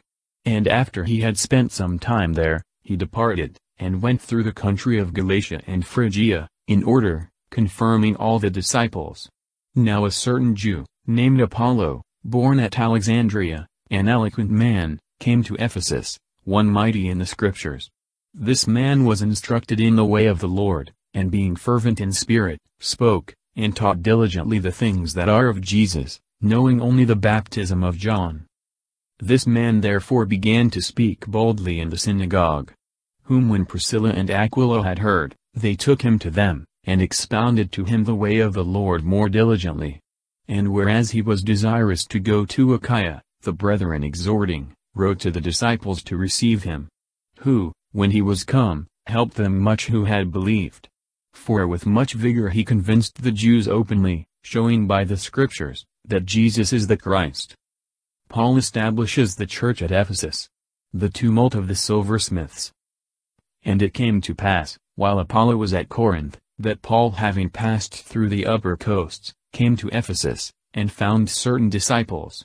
And he said to them, Have you received the Holy Ghost since ye believe? But they said to him, We have not so much as heard whether there be a Holy Ghost. And he said, In what then were you baptized? Who said, In John's baptism. Then Paul said, John baptized the people with the baptism of penance, saying, that they should believe in him who was to come after him, that is to say, in Jesus. Having heard these things, they were baptized in the name of the Lord Jesus. And when Paul had imposed his hands on them, the Holy Ghost came upon them, and they spoke with tongues and prophesied. And all the men were about twelve. And entering into the synagogue, he spoke boldly for the space of three months, disputing and exhorting concerning the kingdom of God. But when some were hardened, and believed not, speaking evil of the way of the Lord, before the multitude, departing from them, he separated the disciples, disputing daily in the school of one Tyrannus. And this continued for the space of two years, so that all they who dwelt in Asia, heard the word of the Lord, both Jews and Gentiles. And God wrought by the hand of Paul more than common miracles. So that even there were brought from his body to the sick, handkerchiefs and aprons, and the diseases departed from them, and the wicked spirits went out of them. Now some also of the Jewish exorcists who went about, attempted to invoke over them that had evil spirits, the name of the Lord Jesus, saying, I conjure you by Jesus, whom Paul preacheth. And there were certain men, seven sons of Sceva, a Jew, a chief priest, that did this. But the wicked spirit, answering, said to them, Jesus I know, and Paul the first know, but who are you? And the man in whom the wicked spirit was, leaping upon them, and mastering them both, prevailed against them, so that they fled out of that house naked and wounded. And this became known to all the Jews and the Gentiles that dwelt at Ephesus, and fear fell on them all, and the name of the Lord Jesus was magnified. And many of them that believed, came confessing and declaring their deeds and many of them who had followed curious arts, brought together their books, and burnt them before all, and counting the price of them, they found the money to be fifty thousand pieces of silver. So mightily grew the word of God, and was confirmed. And when these things were ended, Paul purposed in the Spirit, when he had passed through Macedonia and Achaia, to go to Jerusalem, saying, After I have been there, I must see Rome also and sending into Macedonia two of them that ministered to him, Timothy and Erastus, he himself remained for a time in Asia. Now at that time there arose no small disturbance about the way of the Lord. For a certain man named Demetrius, a silversmith, who made silver temples for Diana, brought no small gain to the craftsmen, whom he calling together, with the workmen of like occupation, said, Sirs, you know that our gain is by this trade. And you see and hear, that this Paul by persuasion hath drawn away a great multitude, not only of Ephesus, but almost of all Asia, saying, They are not gods which are made by hands. So that not only this our craft is in danger to be set at naught, but also the temple of great Diana shall be reputed for nothing, yea, and her majesty shall begin to be destroyed, whom all Asia and the world worshippeth. Having heard these things, they were full of anger, and cried out, saying, Great is Diana of the Ephesians. And the whole city was filled with confusion, and having caught Gaius and Aristarchus, men of Macedonia, Paul's companions, they rushed with one accord into the theater. And when Paul would have entered in unto the people, the disciples suffered him not. And some also of the rulers of Asia, who were his friends, sent unto him, desiring that he would not venture himself into the theater. Now some cried one thing, some another, for the assembly was confused, and the greater part knew not for what cause they were come together. And they drew forth Alexander out of the multitude, the Jews thrusting him forward. And Alexander beckoning with his hand for silence, would have given the people satisfaction. But as soon as they perceived him to be a Jew, all with one voice, for the space of about two hours, cried out, Great is Diana of the Ephesians. And when the town clerk had appeased the multitudes, he said, Ye men of Ephesus, what man is there that knoweth not that the city of the Ephesians is a worshipper of the great Diana, and of Jupiter's offspring? For as much therefore as these things cannot be contradicted, you ought to be quiet, and to do nothing rashly. For you have brought hither these men, who are neither guilty of sacrilege, nor of blasphemy against your goddess. But if Demetrius and the craftsmen that are with him, have a matter against any man, the courts of justice are open, and there are proconsuls, let them accuse one another. And if you inquire after any other matter, it may be decided in a lawful assembly. For we are even in danger to be called in question for this day's uproar, there being no man guilty, of whom we may give account, of this concourse. And when he had said these things, he dismissed the assembly. Paul passes through Macedonia and Greece, he raises a dead man to life at Troas. His discourse to the clergy of Ephesus. And after the tumult was ceased, Paul calling to him the disciples, and exhorting them, took his leave, and set forward to go into Macedonia. And when he had gone over those parts, and had exhorted them with many words, he came into Greece, where, when he had spent three months, the Jews laid wait for him, as he was about to sail into Syria, So he took a resolution to return through Macedonia. And there accompanied him Sopater the son of Pyrrhus, of Berea, and of the Thessalonians, Aristarchus, and Secundus, and Gaius of Derbe, and Timothy, and of Asia, Tychicus, and Trophimus. These going before, stayed for us at Troas. But we sailed from Philippi after the days of the Azyms, and came to them to Troas in five days, where we abode seven days. And on the first day of the week, when we were assembled to break bread, Paul discoursed with them, being to depart on the morrow, and he continued his speech until midnight. And there were a great number of lamps in the upper chamber where we were assembled. And a certain young man named Eutychus, sitting on the window, being oppressed with a deep sleep, as Paul was long preaching, by occasion of his sleep fell from the third loft down, and was taken up dead. To whom, when Paul had gone down, he laid himself upon him, and embracing him, said, Be not troubled, for his soul is in him. And on the first day of the week, here Saint Chrysostom and many other interpreters of the Scripture explain, that the Christians even at this time, must have changed the Sabbath into the first day of the week, the Lord's Day, as all Christians now keep it. This change was undoubtedly made by the authority of the Church, hence the exercise of the power, which Christ had given to her, for he is Lord of the Sabbath. Then going up, and breaking bread and tasting, and having talked a long time to them, until daylight, so he departed. And they brought the youth alive, and were not a little comforted. But we, going aboard the ship, sailed to Assos, being there to take in Paul, for so he had appointed, himself purposing to travel by land. And when he had met with us at Assos, we took him in, and came to Mytilene. And sailing thence, the day following we came over against Chios, and the next day we arrived at Samos, and the day following we came to Miletus. For Paul had determined to sail by Ephesus, lest he should be stayed any time in Asia. For he hasted, if it were possible for him, to keep the day of Pentecost at Jerusalem. And sending from Miletus to Ephesus, he called the ancients of the church.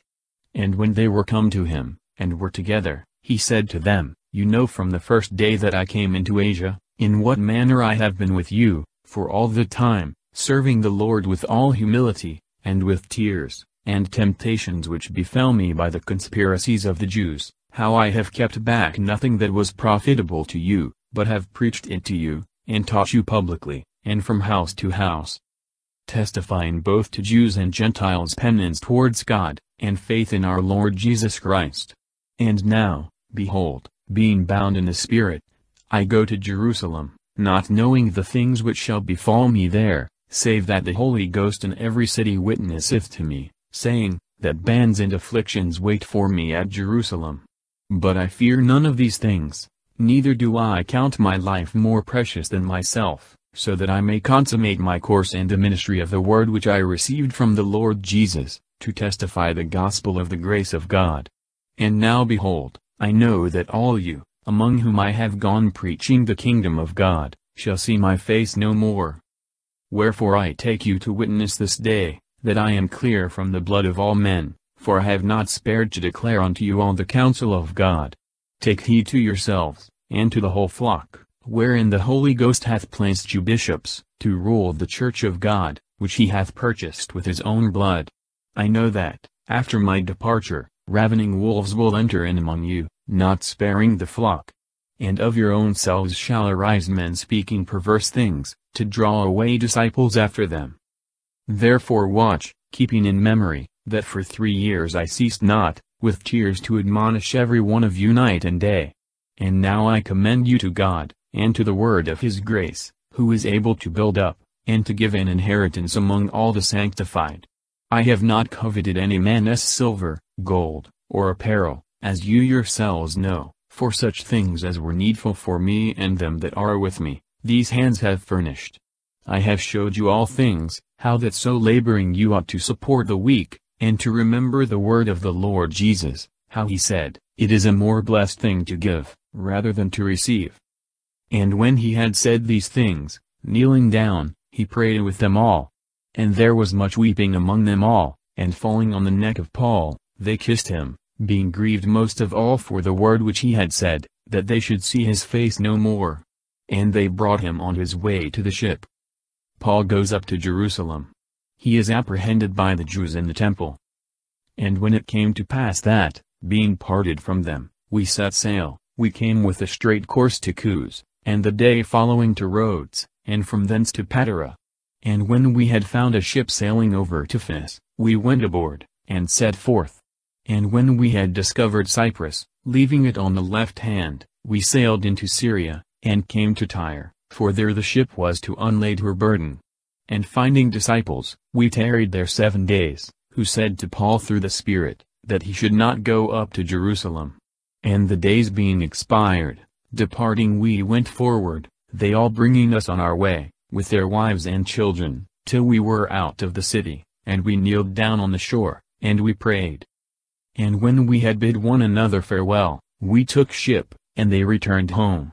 But we having finished the voyage by sea, from Tyre came down to Ptolemais, and saluting the brethren, we abode one day with them. And the next day departing, we came to Caesarea. And entering into the house of Philip the evangelist, who was one of the seven, we abode with him. And he had four daughters, virgins, who did prophesy. And as we tarried there for some days, there came from Judea a certain prophet, named Agabus. The evangelist, that is, the preacher of the gospel, the same that before converted the Samaritans, and baptized the eunuch, Chap, being one of the first seven deacons. Who, when he was come to us, took Paul's girdle, and binding his own feet and hands, he said, Thus saith the Holy Ghost, the man whose girdle this is, the Jews shall bind in this manner in Jerusalem, and shall deliver him into the hands of the Gentiles. Which when we had heard, both we and they that were of that place, desired him that he would not go up to Jerusalem. Then Paul answered, and said, What do you mean weeping and afflicting my heart? For I am ready not only to be bound, but to die also in Jerusalem, for the name of the Lord Jesus. And when we could not persuade him, we ceased, saying, The will of the Lord be done. And after those days, being prepared, we went up to Jerusalem. And there went also with us some of the disciples from Caesarea, bringing with them one Mnason a Cyprian, an old disciple, with whom we should lodge. And when we were come to Jerusalem, the brethren received us gladly. And the day following, Paul went in with us unto James, and all the ancients were assembled. Whom when he had saluted, he related particularly what things God had wrought among the Gentiles by his ministry.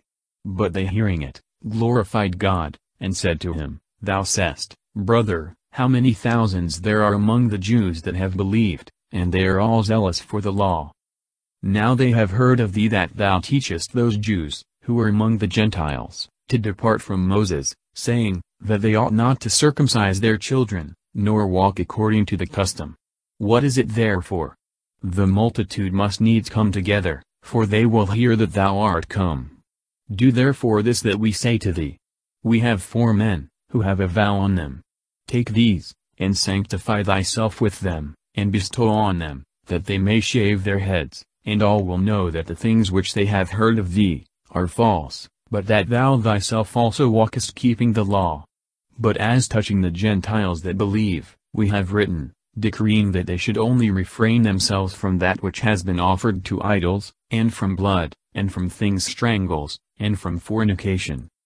Keeping the law, the law, though now no longer obligatory, was for a time observed by the Christian Jews, to bury, as it were, the synagogue with honor. Then Paul took the men, and the next day being purified with them, entered into the temple, giving notice of the accomplishment of the days of purification, until an oblation should be offered for every one of them.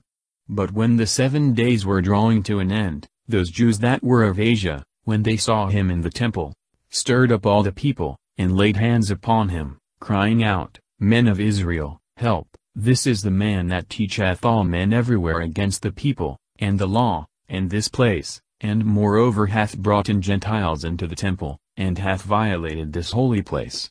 For they had seen Trophimus the Ephesian in the city with him, whom they supposed that Paul had brought into the temple, and the whole city was in an uproar, and the people ran together. And taking Paul, they drew him out of the temple, and immediately the doors were shut.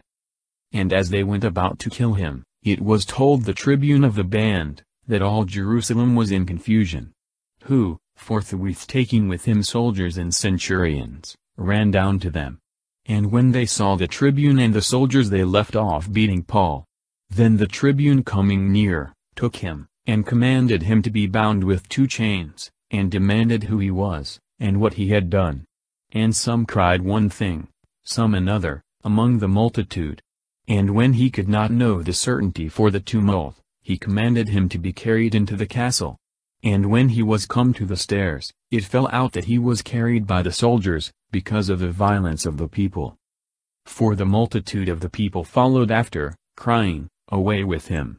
And as Paul was about to be brought into the castle, he saith to the tribune, May I speak something to thee? Who said, Canst thou speak Greek? Art not thou that Egyptian who before these days didst raise a tumult, and didst lead forth into the desert four thousand men that were murderers? But Paul said to him, I am a Jew of Tarsus in Cilicia, a citizen of no mean city. And I beseech thee, suffer me to speak to the people. And when he had given him leave, Paul standing on the stairs, beckoned with his hand to the people.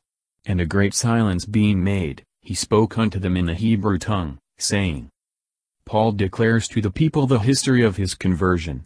He escapes scourging by claiming the privilege of a Roman citizen. Men, brethren, and fathers, hear ye the account which I now give unto you. And when they heard that he spoke to them in the Hebrew tongue, they kept the more silence, and he saith, I am a Jew, born at Tarsus in Cilicia, but brought up in this city, at the feet of Gamaliel, taught according to the truth of the law of the fathers, zealous for the law, as also all you are this day, who persecuted this way unto death, binding and delivering into prisons both men and women. As the high priest doth bear me witness, and all the ancients, from whom also receiving letters to the brethren, I went to Damascus, that I might bring them bound from thence to Jerusalem to be punished. And it came to pass, as I was going, and drawing nigh to Damascus at midday, that suddenly from heaven there shone round about me a great light, and falling on the ground, I heard a voice saying to me, Saul, Saul, why persecutest thou me? And I answered, Who art thou, Lord? And he said to me, I am Jesus of Nazareth, whom thou persecutest. And they that were with me, saw indeed the light, but they heard not the voice of him that spoke with me. And I said, What shall I do, Lord? And the Lord said to me, Arise, and go to Damascus, and there it shall be told thee of all things that thou must do. Heard not the voice, that is, they distinguished not the words, though they heard the voice. Acts. And whereas I did not see for the brightness of that light, being led by the hand by my companions, I came to Damascus. And one Ananias, a man according to the law, having testimony of all the Jews who dwelt there, coming to me, and standing by me, said to me, Brother Saul, look up. And I the same hour looked upon him. But he said, The God of our fathers hath preordained thee that thou shouldst know his will, and see the just one, and shouldst hear the voice from his mouth. For thou shalt be his witness to all men, of those things which thou hast seen and heard. Just one, our Savior, who appeared to St. Paul, Acts 9 verse 17. And now why tarriest thou? Rise up, and be baptized, and wash away thy sins, invoking his name. And it came to pass, when I was come again to Jerusalem, and was praying in the temple, that I was in a trance, and saw him saying unto me, Make haste, and get thee quickly out of Jerusalem, because they will not receive thy testimony concerning me. And I said, Lord, they know that I cast into prison, and beat in every synagogue, them that believed in thee. And when the blood of Stephen thy witness was shed, I stood by and consented, and kept the garments of them that killed him. And he said to me, Go, for unto the Gentiles afar off, will I send thee. And they heard him until this word, and then lifted up their voice, saying, Away with such an one from the earth, for it is not fit that he should live. And as they cried out and threw off their garments, and cast dust into the air, the tribune commanded him to be brought into the castle, and that he should be scourged and tortured, to know for what cause they did so cry out against him. And when they had bound him with thongs, Paul saith to the centurion that stood by him, Is it lawful for you to scourge a man that is a Roman, and uncondemned? Which the centurion hearing, went to the tribune, and told him, saying, What art thou about to do? For this man is a Roman citizen. And the tribune coming, said to him, Tell me, art thou a Roman? But he said, Yea. And the tribune answered, I obtained the being free of this city with a great sum. And Paul said, But I was born so. Immediately therefore they departed from him that were about to torture him. The tribune also was afraid after he understood that he was a Roman citizen, and because he had bound him. But on the next day, meaning to know more diligently for what cause he was accused by the Jews, he loosed him, and commanded the priests to come together, and all the council, and bringing forth Paul, he set him before them.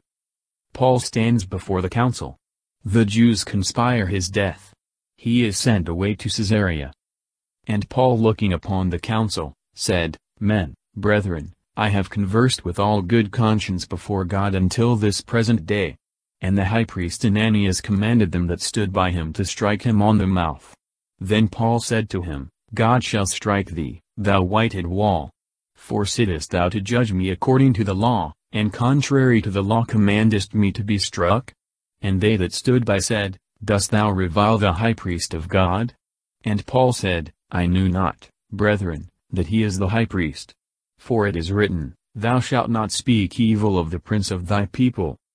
And Paul knowing that the one part were Sadducees, and the other Pharisees, cried out in the council, Men, brethren, I am a Pharisee, the son of Pharisees, concerning the hope and resurrection of the dead I am called in question. And when he had so said, there arose a dissension between the Pharisees and the Sadducees, and the multitude was divided. For the Sadducees say that there is no resurrection, neither angel, nor spirit, but the Pharisees confess both. And there arose a great cry. And some of the Pharisees rising up, strove, saying, We find no evil in this man. What if a spirit hath spoken to him, or an angel? And when there rose a great dissension, the tribune fearing lest Paul should be pulled in pieces by them, commanded the soldiers to go down, and to take him by force from among them, and to bring him into the castle. In the night following the Lord standing by him, said, Be constant, for as thou hast testified of me in Jerusalem, so must thou bear witness also at Rome. And when day was come, some of the Jews gathered together, and bound themselves under a curse, saying, that they would neither eat, nor drink, till they killed Paul. And they were more than forty men that had made this conspiracy who came to the chief priests and the ancients, and said, We have bound ourselves under a great curse that we will eat nothing till we have slain Paul. Now therefore do you with the council signify to the tribune, that he bring him forth to you, as if you meant to know something more certain touching him.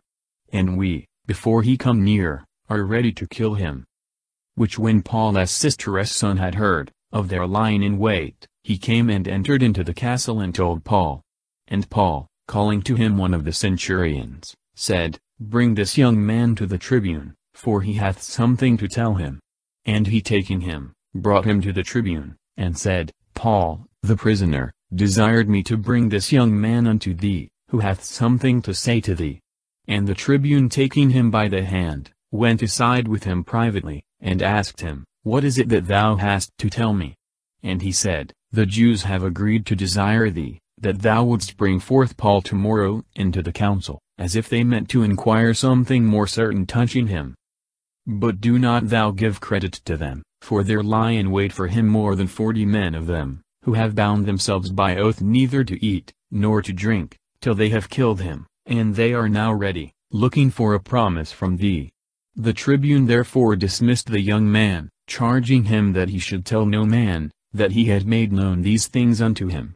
Then having called two centurions, he said to them, Make ready two hundred soldiers to go as far as Caesarea, and seventy horsemen, and two hundred spearmen for the third hour of the night, and provide beasts, that they may set Paul on, and bring him safe to Felix the governor.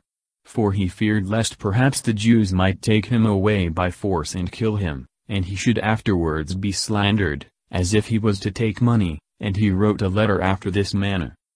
Claudius Lysias to the most excellent governor, Felix, greeting. This man being taken by the Jews, and ready to be killed by them, I rescued coming in with an army, understanding that he is a Roman, and meaning to know the cause which they objected unto him, I brought him forth into their council. Whom I found to be accused concerning questions of their law, but having nothing laid to his charge worthy of death or of bands. And when I was told of ambushes that they had prepared for him, I sent him to thee, signifying also to his accusers to plead before thee. Farewell. Then the soldiers, according as it was commanded them, taking Paul, brought him by night to Antipatris. And the next day, leaving the horsemen to go with him, they returned to the castle. Who, when they were come to Caesarea, and had delivered the letter to the governor, did also present Paul before him. And when he had read it, and had asked of what province he was, and understood that he was of Cilicia, I will hear thee, said he, when thy accusers come. And he commanded him to be kept in Herod's judgment hall. Paul defends his innocence before Felix the governor. He preaches the faith to him. And after five days the high priest Ananias came down, with some of the ancients, and one Tertullus an orator, who went to the governor against Paul. And Paul being called for, Tertullus began to accuse him, saying, Whereas through thee we live in much peace, and many things are rectified by thy providence, we accept it always and in all places, most excellent Felix, with all thanksgiving. But that I be no further tedious to thee, I desire thee of thy clemency to hear us in few words. We have found this to be a pestilent man, and raising seditions among all the Jews throughout the world, and author of the sedition of the sect of the Nazarenes who also hath gone about to profane the temple, whom, we having apprehended, would also have judged according to our law. But Lysias the tribune coming upon us, with great violence took him away out of our hands, commanding his accusers to come to thee, of whom thou mayest thyself, by examination, have knowledge of all these things, whereof we accuse him. And the Jews also added, and said that these things were so. Then Paul answered, the governor making a sign to him to speak, knowing that for many years thou hast been judge over this nation, I will with good courage answer for myself. For thou mayest understand, that there are yet but twelve days, since I went up to adore in Jerusalem, and neither in the temple did they find me disputing with any man, or causing any concourse of the people, neither in the synagogues, nor in the city, neither can they prove unto thee the things whereof they now accuse me. But this I confess to thee, that according to the way, which they call a heresy, so do I serve the Father and my God, believing all things which are written in the law and the prophets, having hope in God, which these also themselves look for, that there shall be a resurrection of the just and unjust. And herein do I endeavor to have always a conscience without offense toward God, and towards men. Now after many years, I came to bring alms to my nation, and offerings, and vows. In which I was found purified in the temple, neither with multitude, nor with tumult. But certain Jews of Asia, who ought to be present before thee, and to accuse, if they had anything against me, or let these men themselves say, if they found in me any iniquity, when standing before the council. Except it be for this one voice only that I cried, standing among them, concerning the resurrection of the dead am I judged this day by you, and Felix put them off, having most certain knowledge of this way, saying, When Lysias the tribune shall come down, I will hear you. And he commanded a centurion to keep him, and that he should be easy, and that he should not prohibit any of his friends to minister unto him. And after some days, Felix, coming with Drusilla his wife, who was a Jew, sent for Paul, and heard of him the faith, that is in Christ Jesus. And as he treated of justice, and chastity, and of the judgment to come, Felix being terrified, answered, For this time, go thy way, but when I have a convenient time, I will send for thee. Hoping also withal, that money should be given him by Paul, for which cause also oftentimes sending for him, he spoke with him. But when two years were ended, Felix had for successor Porcius Festus. And Felix being willing to show the Jews a pleasure, left Paul bound. Paul appeals to Caesar. King Agrippa desires to hear him. Now when Festus was come into the province, after three days, he went up to Jerusalem from Caesarea. And the chief priests, and principal men of the Jews, went unto him against Paul, and they besought him, requesting favor against him, that he would command him to be brought to Jerusalem, laying wait to kill him in the way. But Festus answered, that Paul was kept in Caesarea, and that he himself would very shortly depart thither. Let them, therefore, saith he, among you that are able, go down with me, and accuse him, if there be any crime in the man. And having tarried among them no more than eight or ten days, he went down to Caesarea, and the next day he sat in the judgment seat, and commanded Paul to be brought. Who being brought, the Jews stood about him, who were come down from Jerusalem, objecting many and grievous causes, which they could not prove, Paul making answer for himself, neither against the law of the Jews, nor against the temple, nor against Caesar, have I offended in anything. But Festus, willing to show the Jews a pleasure, answering Paul, said, Wilt thou go up to Jerusalem, and there be judged of these things before me? Then Paul said, I stand at Caesar's judgment seat, where I ought to be judged. To the Jews I have done no injury, as thou very well knowest. For if I have injured them, or have committed anything worthy of death, I refuse not to die. But if there be none of these things whereof they accuse me, no man may deliver me to them, I appeal to Caesar. Then Festus having conferred with the council, answered, Hast thou appealed to Caesar? To Caesar shalt thou go. And after some days, King Agrippa and Bernice came down to Caesarea to salute Festus. And as they tarried there many days, Festus told the king of Paul, saying, A certain man was left prisoner by Felix. About whom, when I was at Jerusalem, the chief priests, and the ancients of the Jews, came unto me, desiring condemnation against him. To whom I answered, It is not the custom of the Romans to condemn any man, before that he who is accused of his accuser is present, and have liberty to make his answer, to clear himself of the things laid to his charge.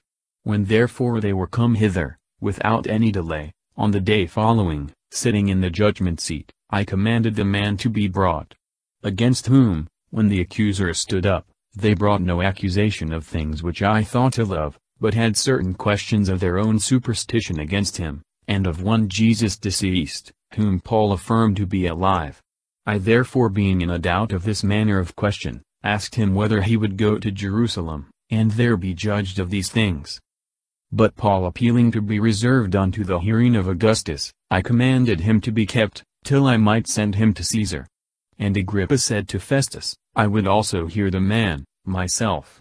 Tomorrow, said he, thou shalt hear him.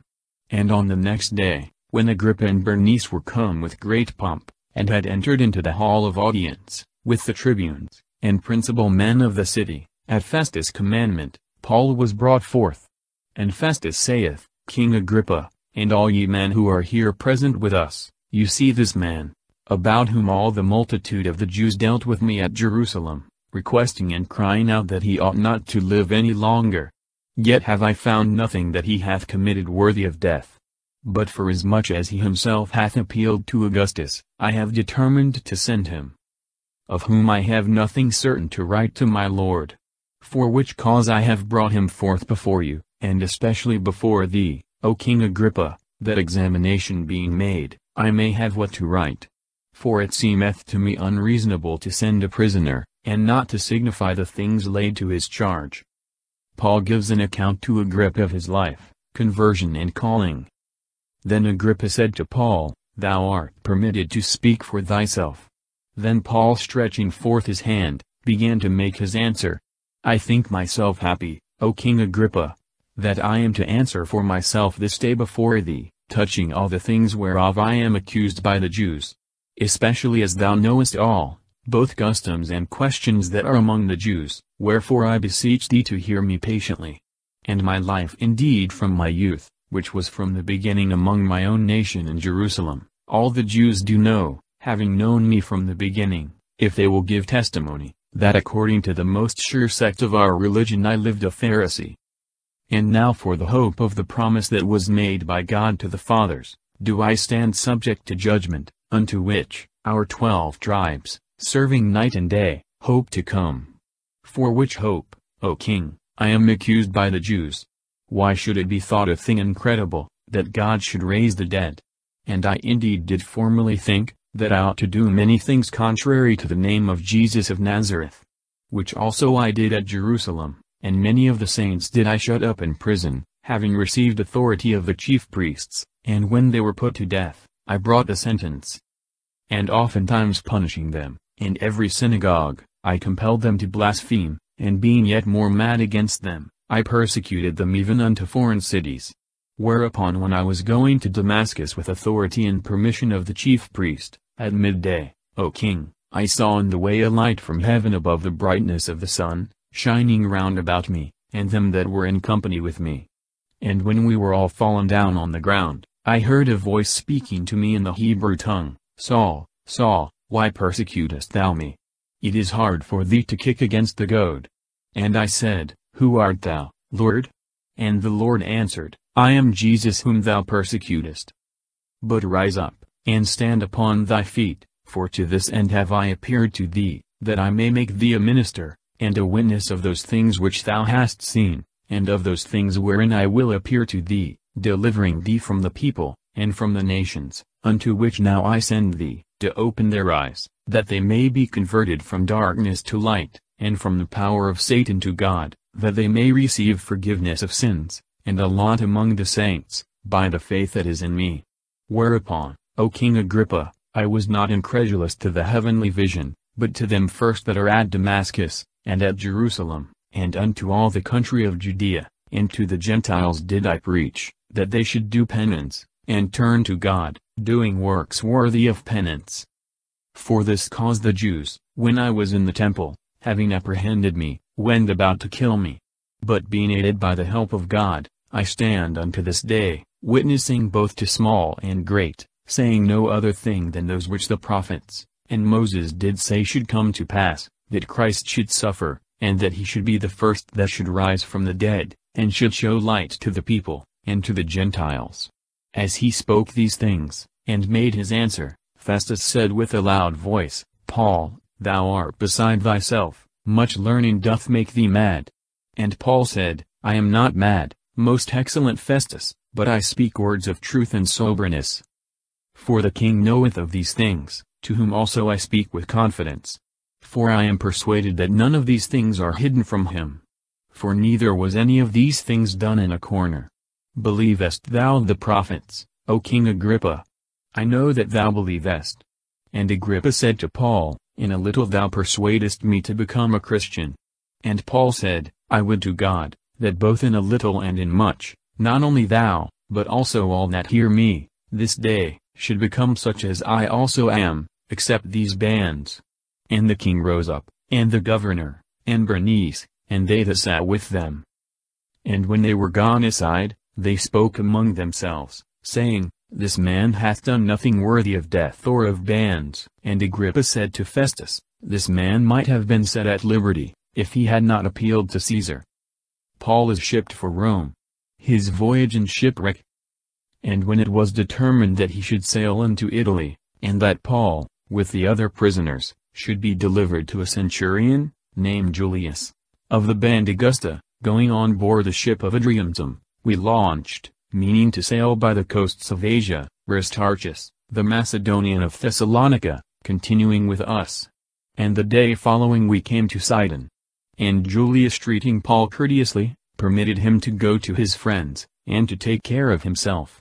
And when we had launched from thence, we sailed under Cyprus, because the winds were contrary. And sailing over the sea of Cilicia, and Pamphylia, we came to Lystra, which is in Lycia, and there the centurion finding a ship of Alexandria sailing into Italy, removed us into it. And when for many days we had sailed slowly, and were scarce come over against Gnidus, the wind not suffering us, we sailed near Crete by Salmone, and with much ado sailing by it, we came into a certain place, which is called Good Havens, nigh to which was the city of Thalassa. And when much time was spent, and when sailing now was dangerous, because the fast was now past, Paul comforted them, saying to them, Ye men, I see that the voyage beginneth to be with injury and much damage, not only of the lading and ship, but also of our lives. But the centurion believed the pilot and the master of the ship, more than those things which were said by Paul. And whereas it was not a commodious haven to winter in, the greatest part gave counsel to sail thence, if by any means they might reach Phenice to winter there, which is a haven of Crete, looking towards the southwest and northwest. And the south wind gently blowing, thinking that they had obtained their purpose, when they had loosed from Asson, they sailed close by Crete. But not long after, there arose against it a tempestuous wind, called Euroaquilo. And when the ship was caught, and could not bear up against the wind, giving up the ship to the winds, we were driven. And running under a certain island, that is called Cauda, we had much work to come by the boat. Which being taken up, they used helps, undergirding the ship, and fearing lest they should fall into the quicksands, they let down the sail yard, and so were driven. And we being mightily tossed with a tempest, the next day they lightened the ship. And the third day they cast out with their own hands the tackling of the ship. And when neither sun nor stars appeared for many days, and no small storm lay on us, all hope of our being saved was now taken away. And after they had fasted a long time, Paul standing forth in the midst of them, said, You should indeed, O ye men, have hearkened unto me, and not have loosed from Crete, and have gained this harm and loss. And now I exhort you to be of good cheer. For there shall be no loss of any man's life among you, but only of the ship. For an angel of God, whose I am, and whom I serve, stood by me this night, saying, Fear not, Paul, thou must be brought before Caesar, and behold, God hath given thee all them that sail with thee. Wherefore, sirs, be of good cheer, for I believe God that it shall so be, as it hath been told me. And we must come unto a certain island. But after the fourteenth night was come, as we were sailing in Adria, about midnight, the shipmen deemed that they discovered some country. Who also sounding, found twenty fathoms, and going on a little further, they found fifteen fathoms. Then fearing lest we should fall upon rough places, they cast four anchors out of the stern, and wished for the day. But as the shipmen sought to fly out of the ship, having let down the boat into the sea, under color, as though they would have cast anchors out of the forepart of the ship. Paul said to the centurion, and to the soldiers, Except these stay in the ship, you cannot be saved. Then the soldiers cut off the ropes of the boat, and let her fall off. And when it began to be light, Paul besought them all to take meat, saying, This day is the fourteenth day that you have waited, and continued fasting, taking nothing. Wherefore I pray you to take some meat for your health's sake, for there shall not an hair of the head of any of you perish. And when he had said these things, taking bread, he gave thanks to God in the sight of them all, and when he had broken it, he began to eat. Then were they all of better cheer, and they also took some meat. And we were in all in the ship, two hundred threescore and sixteen souls. And when they had eaten enough, they lightened the ship, casting the wheat into the sea. And when it was day, they knew not the land but they discovered a certain creek that had a shore, into which they minded, if they could, to thrust in the ship. And when they had taken up the anchors, they committed themselves to the sea, loosing with all the rudder bands, and hoisting up the mainsail to the wind, they made towards shore. And when we were fallen into a place where two seas met, they run the ship aground, and the forepart indeed, sticking fast, remained unmovable, but the hinder part was broken with the violence of the sea. And the soldiers' counsel was, that they should kill the prisoners, lest any of them, swimming out, should escape. But the centurion, willing to save Paul, forbade it to be done, and he commanded that they who could swim, should cast themselves first into the sea, and save themselves, and get to land. And the rest, some they carried on boards, and some on those things that belonged to the ship. And so it came to pass, that every soul got safe to land. Paul, after three months' stay in Melita, continues his voyage and arrives at Rome. His conference there with the Jews. And when we had escaped, then we knew that the island was called Melita. But the barbarians showed us no small courtesy. For kindling a fire, they refreshed us all, because of the present rain, and of the cold. And when Paul had gathered together a bundle of sticks, and had laid them on the fire, a viper coming out of the heat, fastened on his hand. And when the barbarians saw the beast hanging on his hand, they said one to another, Undoubtedly this man is a murderer, who though he hath escaped the sea, yet vengeance doth not suffer him to live.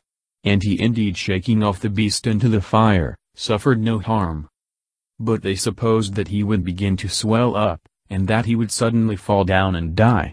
But expecting long, and seeing that there came no harm to him, changing their minds, they said, that he was a god.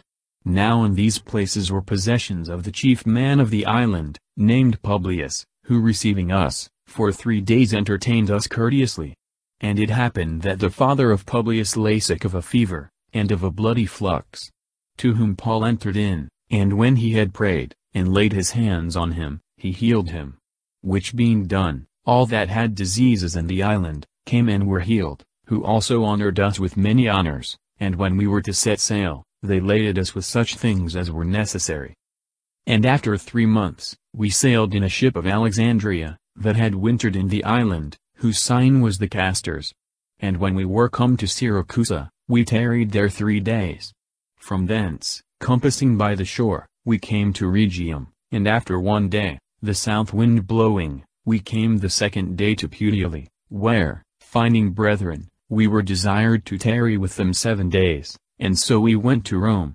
And from thence, when the brethren had heard of us, they came to meet us as far as Appii Forum, and the three taverns, whom when Paul saw, he gave thanks to God, and took courage.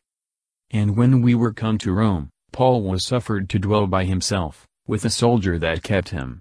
And after the third day, he called together the chief of the Jews. And when they were assembled, he said to them, Men, brethren, I, having done nothing against the people, or the custom of our fathers, was delivered prisoner from Jerusalem into the hands of the Romans, who, when they had examined me, would have released me, for that there was no cause of death in me, but the Jews contradicting it, I was constrained to appeal unto Caesar, not that I had anything to accuse my nation of.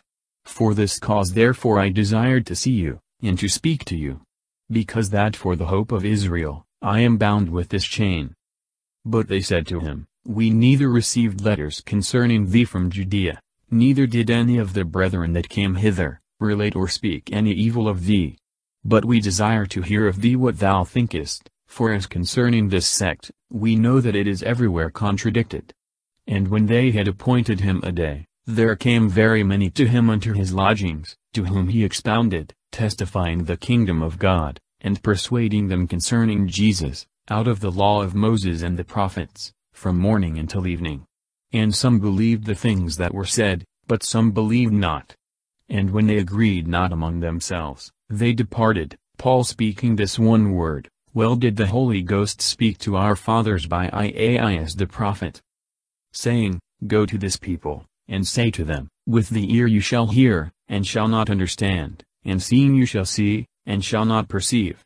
For the heart of this people is grown gross, and with their ears have they heard heavily, and their eyes they have shut, lest perhaps they should see with their eyes, and hear with their ears, and understand with their heart, and should be converted, and I should heal them. Be it known therefore to you, that this salvation of God is sent to the Gentiles, and they will hear it. And when he had said these things, the Jews went out from him, having much reasoning among themselves.